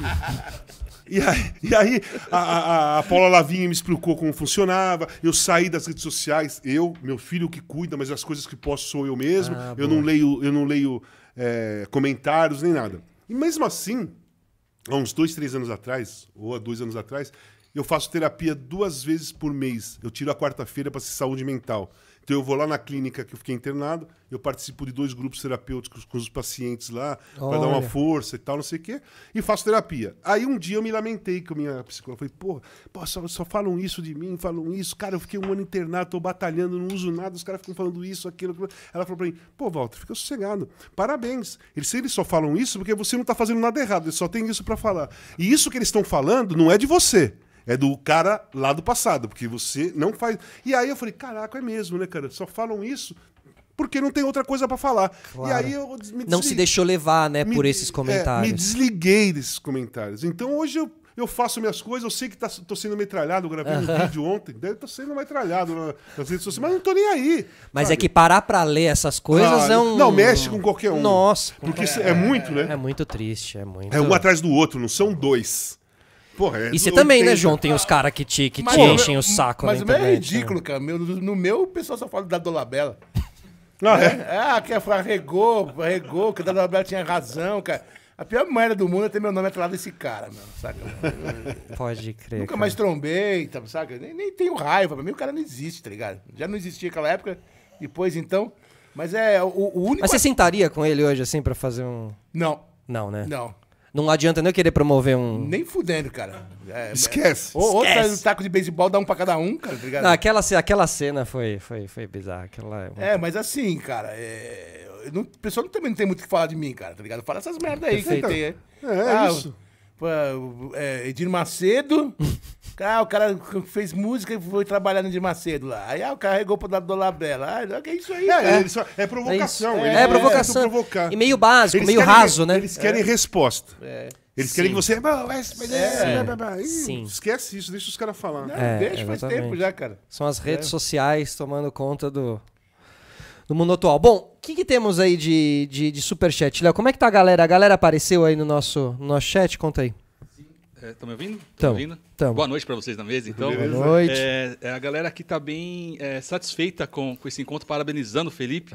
Então a galera tá curtindo bastante. Eu separei quatro perguntas aqui, porque provavelmente vai desenrolar as respostas, né? Então Boa. ela vai abrir. Então eu separei quatro aqui, tá bom?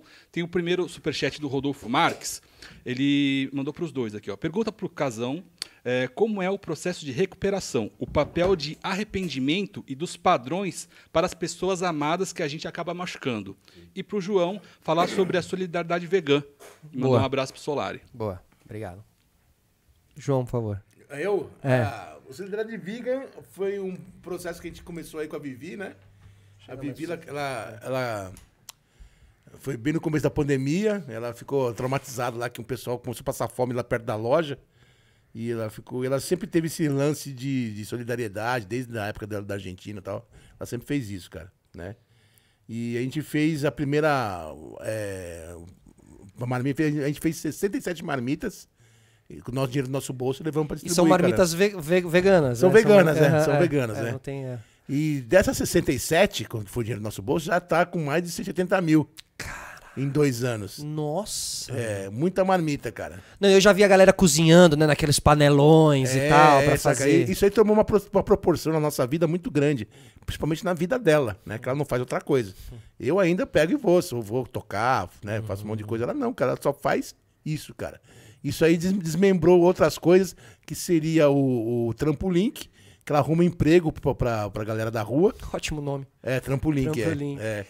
Tem E mais tem um- o Pimp My Carroça, minha carroça, não o, tinha... o, o Pimp é um outro pessoal. Tá. É, que ela, ela também faz, ela faz parte ela da- também. amizade do, do Isso. mundano, que faz parte também, E cara. queria deixar um beijo pra Vivi, que tá chateada nesses últimos dias aí, com a perda do... É, então, do seu Miyagi, né? É, é, É, tadinha, cara. Que era um dos... um, um dos das pessoas que vocês ajudaram ali e que se acabou criando um carinho muito grande Sim, por ele, o, né? o seu Miyagi ele era clássico ali na- no Glicério, ali na, na, na- na- na Liberdade. Um morador de rua. morador de rua, ele só, você só via ele cagado, pelado, saca assim, com, todo zoado, fudido, cara.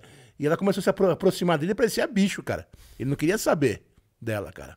E foi se aproximando, se aproximando, se aproximando, se aproximando. Ela conseguiu tirar ele da rua, reencontrar a família dele, né? E colocar ele no asilo. Então ele sumiu uma época, aí ficou uns 20 dias sumido, Foi, cara. também Apare- Apareceu disso. todo machucado. Né? Ele- Aí ele começou, acho que ele começou a ter, tipo, um começo de Alzheimer, alguma coisa assim, que ele nem, não sabia nem de onde estava. Né? E ela conseguiu a, a- a aproximação da família e para ter um fim de. um- o senhorzinho teve um fim de vida decente, cara. Digno. Senão ele ia ser enterrado como indigente, cara, se ele tivesse morrido assim, cara. Sabe? E ela se envolveu muito com ele, cara, sabe? Era- É, as histórias que acontecem quando você É. faz o trabalho é, solidário, é, as histórias são. Cara, é, é o que a gente conhece as pessoas. Se você não conhece pessoas, as pessoas são invisíveis, cara. A partir do momento que você começa a conhecer a pessoa, conhecer a história da pessoa, porque O a pessoa nome, tá ali, né? o nome, é uma- tudo muda, Vira cara. outra coisa. é. Tudo muda. Eu era insensível também, cara. Sabe? Eu, eu, eu mudei bastante também nesse, nesse, nesse quesito aí, sabe? É, é bem louco isso aí, cara. Pro- Pro casão, você. Entendi. Eu queria só falar em cima do que você falou, João, que assim, eu escrevi três, dois livros, né? Eu escrevi três, mais dois sobre a minha dependência química, né? Travessia, né? Teve, é, Travessia e Casagante e Seus Demônios e teve a série na, na Globoplay. Na Globoplay, perfeito. O cara, o que mais paga, as pessoas falam, pô, por que, que você espera? O que você espera do livro? O que você espera da série? O que eu espero é o que eu encontro de vez em quando, mas já foram muitas vezes. Outro dia eu estava no Ibirapuera, uma senhora me parou, tirou uma foto comigo, depois ela falou assim: Cara, a sua série ajudou meu sobrinho. Já teve pessoas que me pararam assim: Pô, eu dei meu livro, eu dei o seu livro pro meu filho ou pro meu marido, ele leu e resolveu se internar. Então, é, é essa a questão que você falou, você ajudar a dignidade da pessoa e ou então penetrar dentro da cabeça da pessoa e ver, pô, aquele cara se recuperou, pô, aquele, eu quero ser, eu não quero mais ser assim, eu quero mudar minha vida. Então, isso, isso aí paga. Porque vender livro não ganha grana e, e nem a série. O que, me, o que me paga é isso. O, meus obje, o meu objetivo nas duas coisas foi esse: mexer com a cabeça das pessoas, com os familiares ou daqueles caras que são dependentes químicos.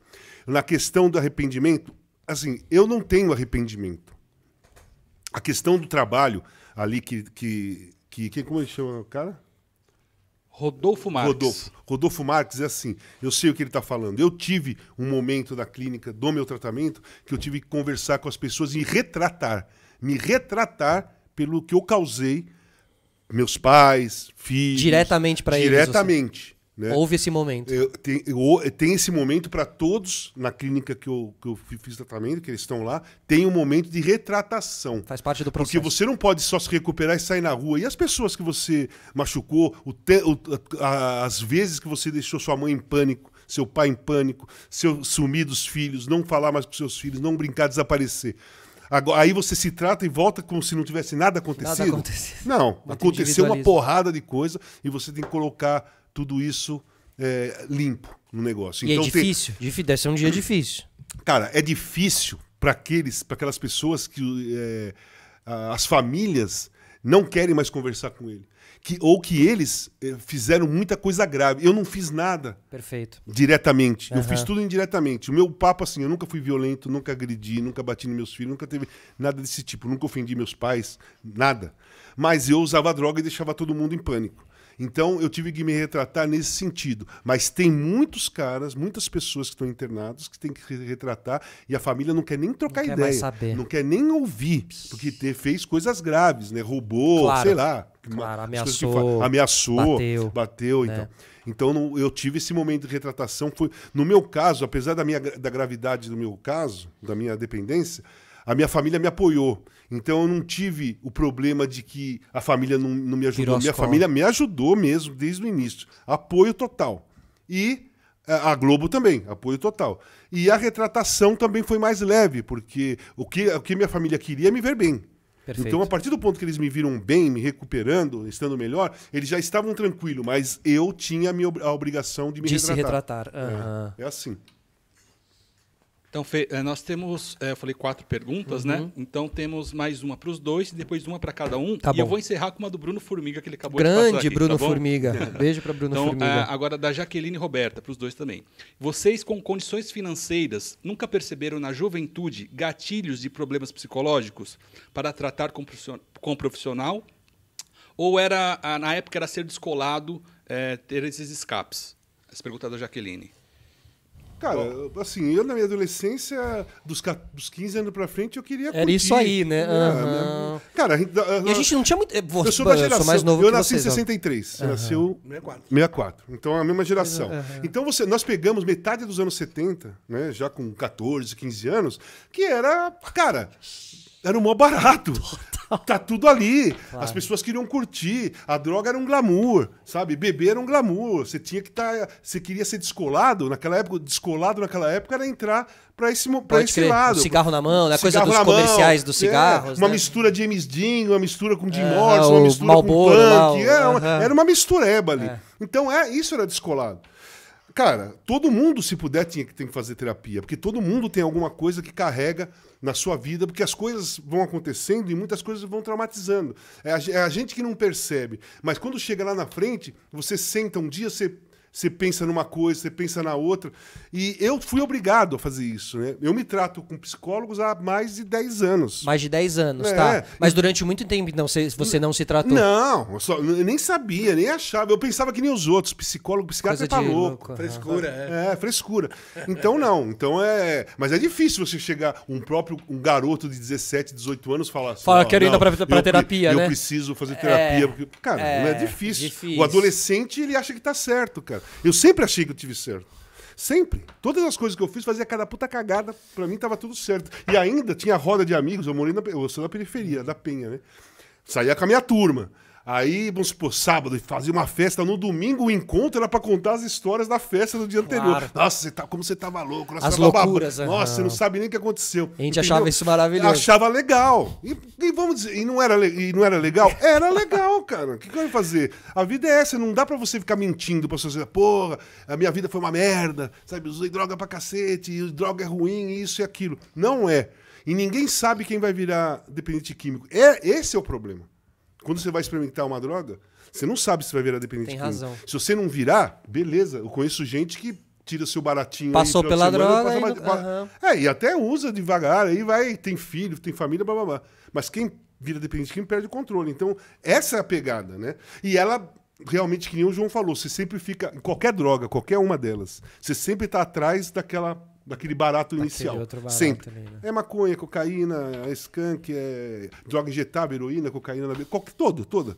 Todas, inicialmente, por um tempo, te dão, te oferece uma coisa que é um prazer imediato, que é viciante, né? Tem aquele pum de prazer. Aquela explosão. E depois a- a- as doses começam a aumentar porque a coisa não tá. É aí, na droga injetável, que você entra em risco. Eu tive quatro overdoses, fui pro hospital, eu virei sócio do, do Einstein. A cada 15 dias, às vezes, du- duas semanas seguidas, eu tava chegando lá de cadeira de roda.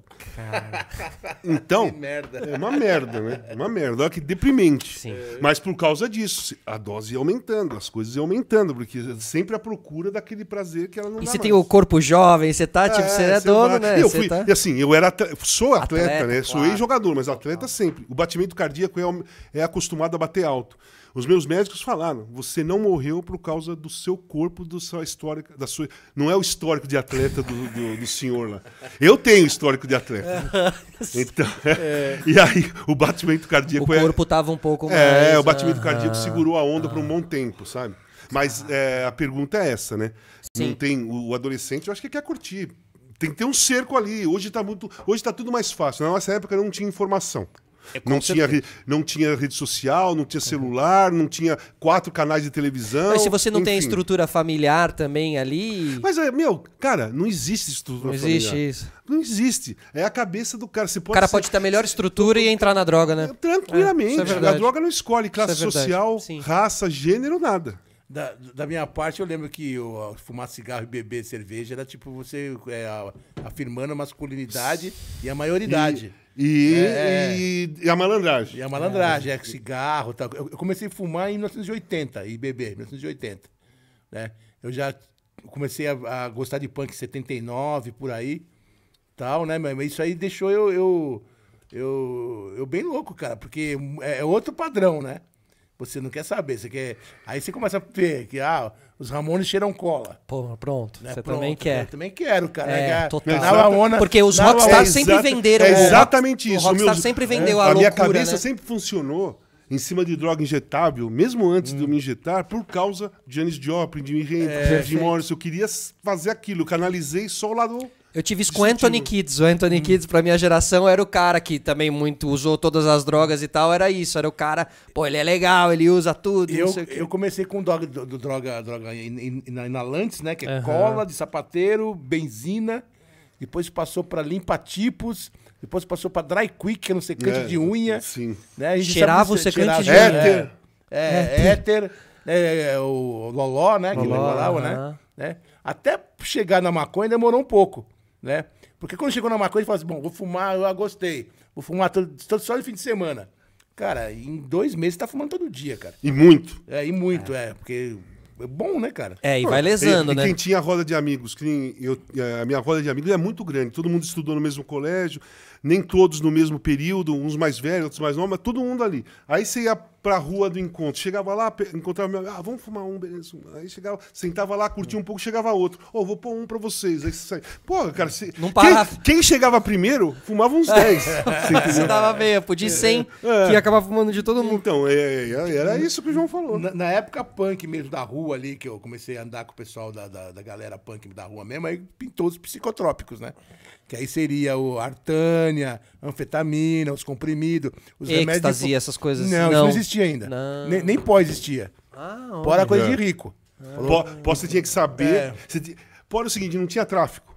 Ah, é, um- quem tinha grana fazia uma, Uma festa. punha uma grana, comprava e trazia pra eles. né? Se você conhecesse um ali, aí você entrava no giro. Eu entrei no giro em, em 82, no show do Peter Frampton que teve no Corinthians, porque eu conheci um pessoal que tava curtindo isso. E eu nunca tinha visto. Você lembra o momento Lembro do, do- total. a ta- conexão. A, tarde, a ta- sábado à tarde, o, o- sexta tarde. O show foi sexta noite, sexta tarde eu conheci o pessoal e tal. E às vezes é só o conhecer o pessoal que vai te Porque, a, fazer. porque a cocaína é só desse jeito. É, mesmo, eu, eu só fui conhecer cocaína quando eu comecei a frequentar a night e com o pessoal New Wave, as meninas mais. mais pessoal que tinha mais grana, né? Perfeito, mas um ele- um eletro- uma coisa mais eletrônica, assim, É, né? não, não. Não. Era, era Não, New 1984, Wave. cara. New Wave. 83. Divo, Divo? É, Beef Kraftwerk. É, B-52. é isso aí. Aí, aí o pessoal que frequentava, esse, o pessoal mais elitizado, usava cocaína. Usava, né? A gente era punk tosco, que a gente foi uma pinga, vinho, psicotrópico tosco, cola e maconha.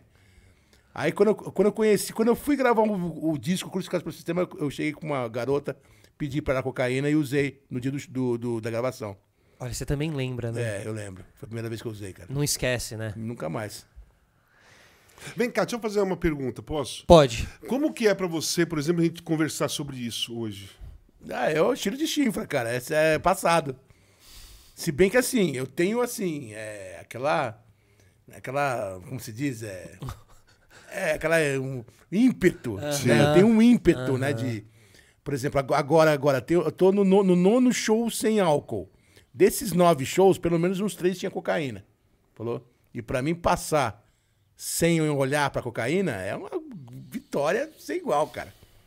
Saca, mano? O, o importante foi o sem o álcool. Você toma, É. uma, você toma uma dosinha de Então, qualquer mas é, cai eu, eu- eu- cheguei à conclusão porque assim, porque eu, eu frequentei a NA, Hum. né? Narcóticos Anônimos? né? É, é, é, NA, é, na- narcótico, né? Narcóticos. Na- narcótico. E eu vi que não era narcótico, eu, eu era alcoólatra.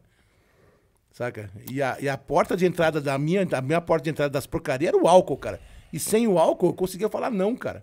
É. Né? Eu conseguia falar Mas não. sabe qual é a do álcool? Vou te falar, que eu também aprendi Hum. isso. O álcool baixa a crítica. Então, por exemplo, você careta, você, o cara te oferece a droga, você fala, não. Não, é. Agora, você bebeu um negócio, a sua crítica baixa. Dá que essa porra. Aí fica mais vulnerável, né? Aí você fala assim, Ah, ah, vamos lá. Só, só hoje, vai, só vou dar um tirinho agora. Aí você fica cinco dias, entendeu? O álcool baixa O a crítica. álcool. É. Porque quantas vezes você vê pessoas fazendo coisas absurdas com álcool que ela careta jamais Sim, faria. justo, claro. Homem, mulher, Claro. sabe? Qualquer tipo É de que o coisa. álcool foi colocado, a, a, a permissão do álcool, né? Ele está colocado socialmente como uma droga mais aceita. Ela é literalmente é aceita. aceita. Mas ela te, te traz porra, coisas muito ruins, assim, realmente ó, te abre para várias outras coisas. E fora o que às vezes não precisa nem usar outras drogas, só o álcool deixa muita gente, né, violenta e carro e enfim, é um Pra mim, os anos 90 foram o fundo do poço, cara. Né? Que eu comecei a, os anos 90, foi até chegar na época Clubber, que é a época eletrônica, né?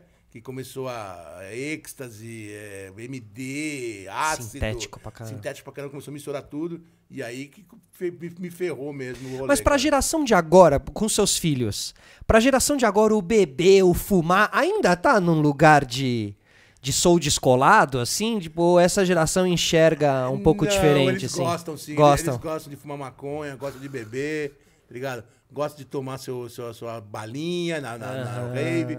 Mas não é aquela coisa é, suicida que nem era com a gente, cara. Perfeito. Sabe? Porque a gente de- descobriu que misturar droga não morre. Então vamos tomar um ácido, um êxtase, dar um teco e tomar um piaba, saca? E você tem essa conversa com eles, assim? Tem, eles são com- completamente. Faz Sempre já, teve, sempre, né? Sempre tive, cara. Sempre tive.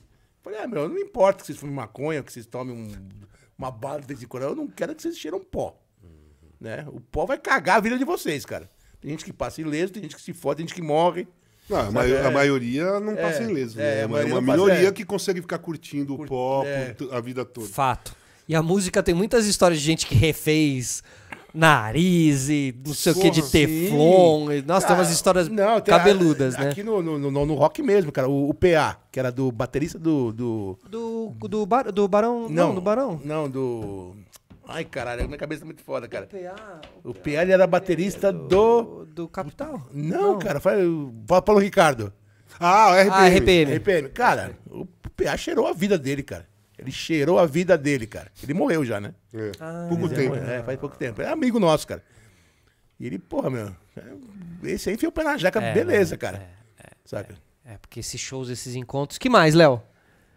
Vocês eh, já responderam as, as duas que tinham, Boa. né? Eh, só registrar o nome da Vanessa aqui, Gebim, e também do Dani, que perguntaram. Obrigado aí, eu pessoal. Vou... Bruno Formiga. Bruno Formiga. Bruno Que é Formiga. para os dois. Boa. Depois de tantas vivências, o que é a felicidade para cada um? Puta, pra mim tá em casa com a minha família, cara. Não tem coisa melhor, cara. Saca, meu? Meu, ver meus- meu filho bem, ver minha filha bem, ver minha mulher bem, ver meus gatos. Um monte de gato, cara. Adoro Os gato, dog, cara. o, po- É. o- o porco. O porco já não está mais. porco já entre morreu, nós. já- já morreu, que nem a é, toinha. é. Éramos pais de bulldog francês. Tadinho do porco.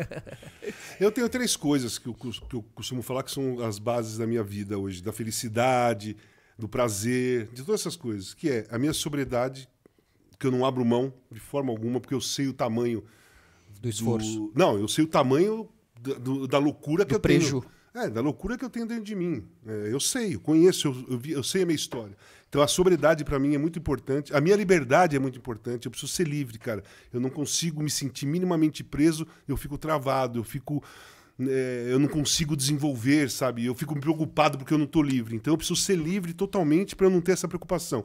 E a nossa democracia, né, cara? Essas são três coisas que não tem negócio. Não vamos negociar isso que não tem. Eu não, duas são muito pessoais, que é a minha sobriedade e a minha liberdade. Essas são coisas importantes para que eu consiga sobreviver Como indivíduo. como sobre, para sobreviver. Se eu não ficar sóbrio, eu não vou sobreviver. Porque tem uns detalhes que eu gosto de dar exemplo. Por que, que você me convidou para vir aqui? Porque eu tô sóbrio. Há muito tempo você fala, pô, vou convidar o cara, o cara vai vir aqui, vai ser legal a entrevista, vai ter um papo. Porque se eu tô muito louco por aí, ninguém me convida pra porra nenhuma. É lógico. Então, então a sobriedade é importante. Fazendo merda. Exatamente. E aí é isso. Sobriedade, liberdade e democracia. E democracia para todos, Para né? todos. Nossa, Nesse caso, nossa, né? É, a liberdade e a sobriedade é minha. para você, claro. Agora a democracia é para todos. É para todos, né? Desde sempre, né, casal? Sim. Desde Só sempre. queria deixar um, um- falar uma coisa sobre a, a- pergunta que eu fiz para ele, né? Como ele se sente. Eu falando de droga, eu me sinto da seguinte maneira: eu tento passar a verdade, né? A verdade ela é, ela é legal e a verdade ela é ruim, né? Mas é, existem as duas verdades. Mas eu tento falar sempre sem o glamour, porque é o glamour que seduz. Né? É, isso mesmo. Não é? O glamour seduz. Você, a gente pode ficar conversando aqui de- sobre drogas, problemas que nós passamos, ou que, curtição que nós tivemos, por horas, desde que você não coloque glamour. Se você colocar o glamour, quem está ouvindo fala, porra, Claro, deve ser sei o quê. Então é Ela assim, tem essa é, áurea, né? Eu falo que ela é boa, porque se ninguém se vicia em coisa ruim, e que ela é mentirosa porque ela vai te destruir, porque ela não vai ser sempre a mesma coisa, né? Tem gente que vira dependente químico, tem gente que não vira. Perfeito. Mas não tem glamour algum na história depois. É tudo Você tem- mentira. Você tem um glamour vivenciando porque você não sabe, você não tá percebendo que ela tá acabando contigo. Mas depois, com 59 anos, eu olho para trás, eu não me arrependo de nada. Eu acho que eu o que aconteceu, aconteceu. Eu curti pra cacete, quase morri, mas curti. E a minha vida, hoje eu consigo ajudar as pessoas por causa da minha história, né? Uhum. Mas eu não, eu não vejo nada com glamour. Tudo eu olho para trás e falo assim, "Tu- eu fiz tudo, mas eu não vejo mais glamour. Não, e com certeza todo esse mundo do entretenimento, ele criou sim um glamour em cima de Claro. É, bandas, filmes. Pô, eh, TV, cara. TV. E o exagero é muito glamuroso, né, cara? Você você exagerar, cara. Enfiar o pé na jaca, cara, saca? E, é, eu, eu também não, não me arrependo de nada, não, cara. Saca? E assim, eu tive sorte de não ser um dependente, dependente químico. Mais pro lado do, do álcool, né?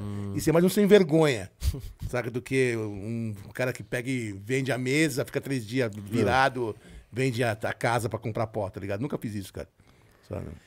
Então, assim, meu, pra quem tá ouvindo a gente e tá achando glamuroso, saibam que não tem glamour nenhum. Essa conversa serve muito. É, a gente podia ter falado muito de futebol, Casão. A gente podia ter falado muito de, de muitos droga. assuntos. de rock and roll, de de, rock and roll, de de show. droga, Mas exatamente. você sabe que assim, é, que nós estamos falando de rock and roll, de televisão, mas você sabe um dos lugares, um dos, um, um dos eventos mais foda pra você se segurar nos exageros é uma Copa do Mundo, cara. Porque tá todo, o planeta todo tá lá. Os traficantes vão tudo pra lá, porque é lá que ele vai vender. Total, tá tudo Então, lá. Prostituição vai tudo pra Também, lá, fato. porque é lá que. né? Então, o, o ambiente, o local da Copa do Mundo, ele é totalmente nocivo se você vacilar. Se você não ficar esperto, por isso que eu falei, é, 2000 2016 foi a, a Olimpíada, né? Perfeito. No Rio. Eu, não, eu, eu já, ali eu já não bebia nem usava drogas, mas eu tive a ajuda da Baby em muitos momentos. Mas eu não estava convencido ainda que eu estava legal, porque para mim eu tinha que passar pela prova de fogo, que era uma Copa do Mundo fora do Brasil sem a ajuda da psicóloga Que foi na Rússia. que foi na Rússia, que eu fui pra lá. Cara, fiz todos os jogos, saía pra jantar com os caras, os caras uma garrafa de vinho, duas, na terceira eu falava, gente, eu tô esperando lá fora, depois a gente conversa, me chama só pra pagar. Eu saía fora quando os caras começavam a ficar alterados, e eu passei a Copa toda sem nenhum problema, nem lembrei do que de, de curtição, nem nada, nada. Fui fazer minhas coisas, minha curtição ali, teatro, balé bolshoi, tal, tal, É tal. mesmo? Durante a É, Copa você é. foi conseguir primeiro dia, curtir? Primeiro dia eu fui no balé bolshoi. Que legal. E eu descobri também, depois que as seleções são eliminadas, você fica com mais tempo. E aí eu comecei a ir comprar disco lá em Moscou. Eu ia atrás de música de Vinil? rock, vinil, rock and roll russo ou qualquer disco histórico que tinha. E eu passava num lugar. No primeiro dia eu fiquei ouvindo, pô, tá tocando Tchaikovsky. Pá, Tchaikovsky, pô, onde tá tocando essa porra? Beleza. Passei no segundo, no terceiro eu vi uma portinha aberta. Eu fui lá, cara, todo dia, seis horas da tarde, em Moscou, tem um mini teatro que toca, uma orquestra toca Tchaikovsky. Todo dia, coisa, como se fosse seis uma horas missa. da tarde. Como se fosse uma missa. Seis horas da tarde. Você pode entrar, sentar lá, Coisa ver um show e depois você vai embora. Cara, eu achei isso muito louco. Porque tudo bem, tem gente que curte e tem gente que não curte música clássica. Eu gosto. Tá? Mas, por exemplo, é a mesma coisa que aqui no Brasil, aqui em São Paulo, que é uma cidade que gosta de rock and roll, né? Você passar 5 horas da tarde num mini teatro, você ouve rock and roll Total. tocando Ratos de Porão, não sei o quê. Você vai, pô, onde você... Aí entra lá, tá o Ratos de Porão tocando. Pô, tô ouvindo Titãs. Quem que será? Será que é disso? Vai lá, tá os Titãs tocando. Era isso. Representa a mesma coisa. Perfeito, É a claro cultura que eu não latente. estou comparando. É, Tchaikovsky. um- Tchaikovsky e o, e o próprio som, né? E o próprio som. Claro. Mas para nós aqui em São Paulo é do cacete Claro, também. é como se fosse essa isso, cultura. né? E no final da Copa você faz aquela. Você dá Sim. essa declaração Sim. que, é, que ficou muito marcante, assim, né? Ficou porque foi uma coisa muito natural, porque eu só percebi. O lance louco é o seguinte, eu só tive a percepção que realmente eu não tinha feito nada de errado quando eu vi a França dando a volta olímpica e a Copa tinha acabado. Falei, puta, ah, aí veio na cara, caralho. Eu falei, porque teve a série no Fantástico, né? Minha com o Drauzio. E na no último dia que eu estava embarcando, a equipe do Fantástico foi lá, fez a entrevista, falou com algumas pessoas, e, e na hora que eu estava indo embora, a menina perguntou: Casão, qual é o seu objetivo na Copa?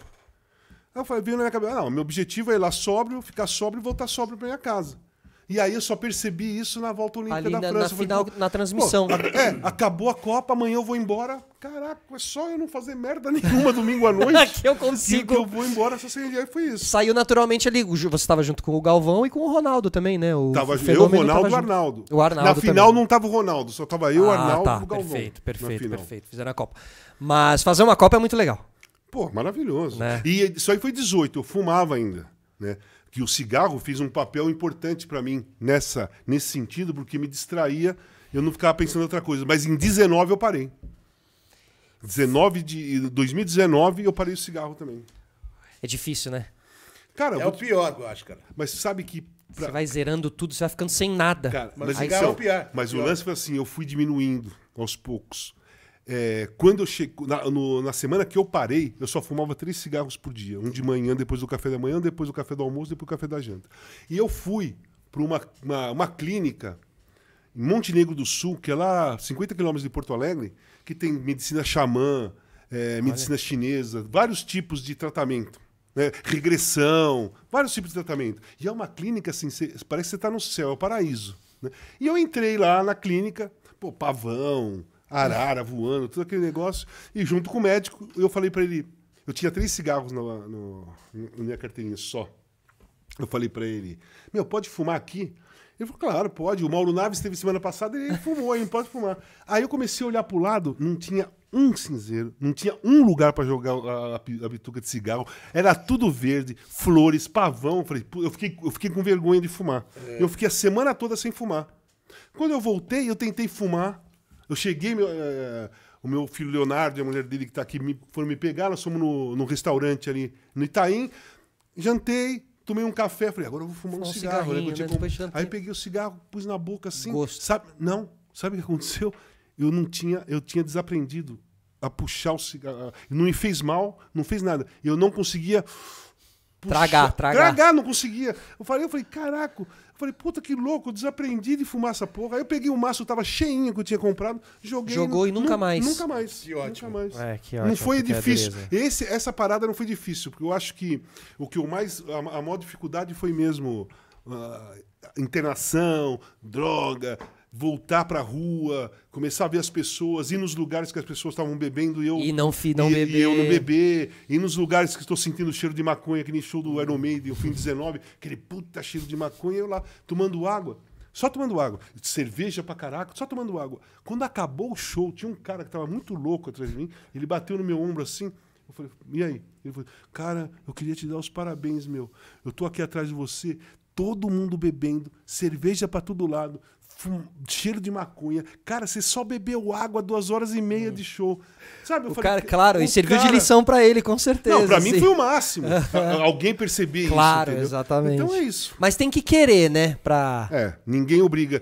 As duas coisas, né, João? Ninguém entra por amigos, essa é a minha visão. Eu, eu, eu- eu usei droga, fui experimentar porque eu quis.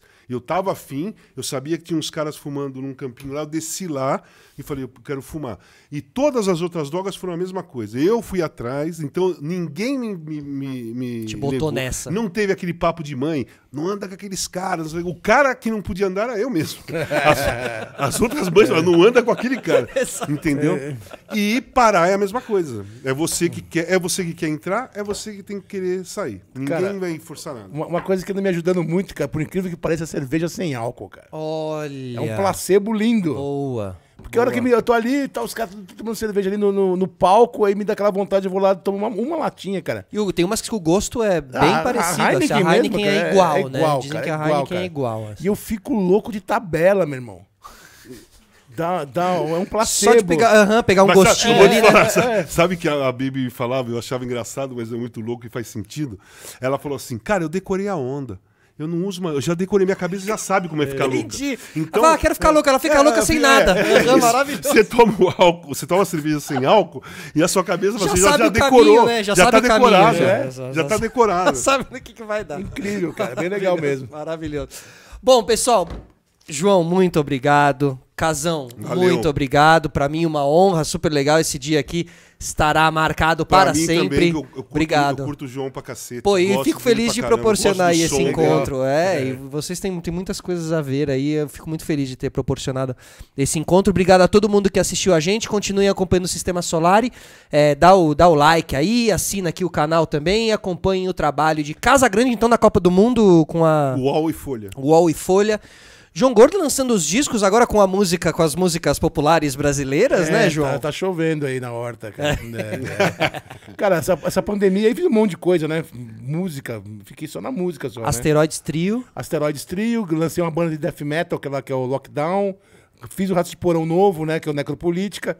Fiz um tributo Televete Necropolítica. Cadete, que é uma banda da Finlândia, com o Rato de Porão, que vai ter português. E acabei fazendo esse. esse, esse o, o Brega, o, né? O Brutal Brega, que é as músicas uh, brega com punk, assim, cara. Tem Caetano, tem é, é, Caetano não entra na, na questão do, do brega, mas é mais uma música popular Então, então, brasileira, são, assim. são, são dois volumes. Tem o Brega, que é Brega mesmo. Ah, boa. Tem que tem Agnaldo Timóteo, essas coisas todas. E tem o, o MPB, que é mais coisa baiana, assim, tipo Caetano, Moraes Moreira. Sensacional. Mas tudo mó paulada, cara. Mó hardcore, Quero cara. ouvir isso. É, bom, bom demais. Então tá bom, ouçam, Valeu. procurem nas redes sociais. Tamo de volta na semana que vem. Obrigado, tchau.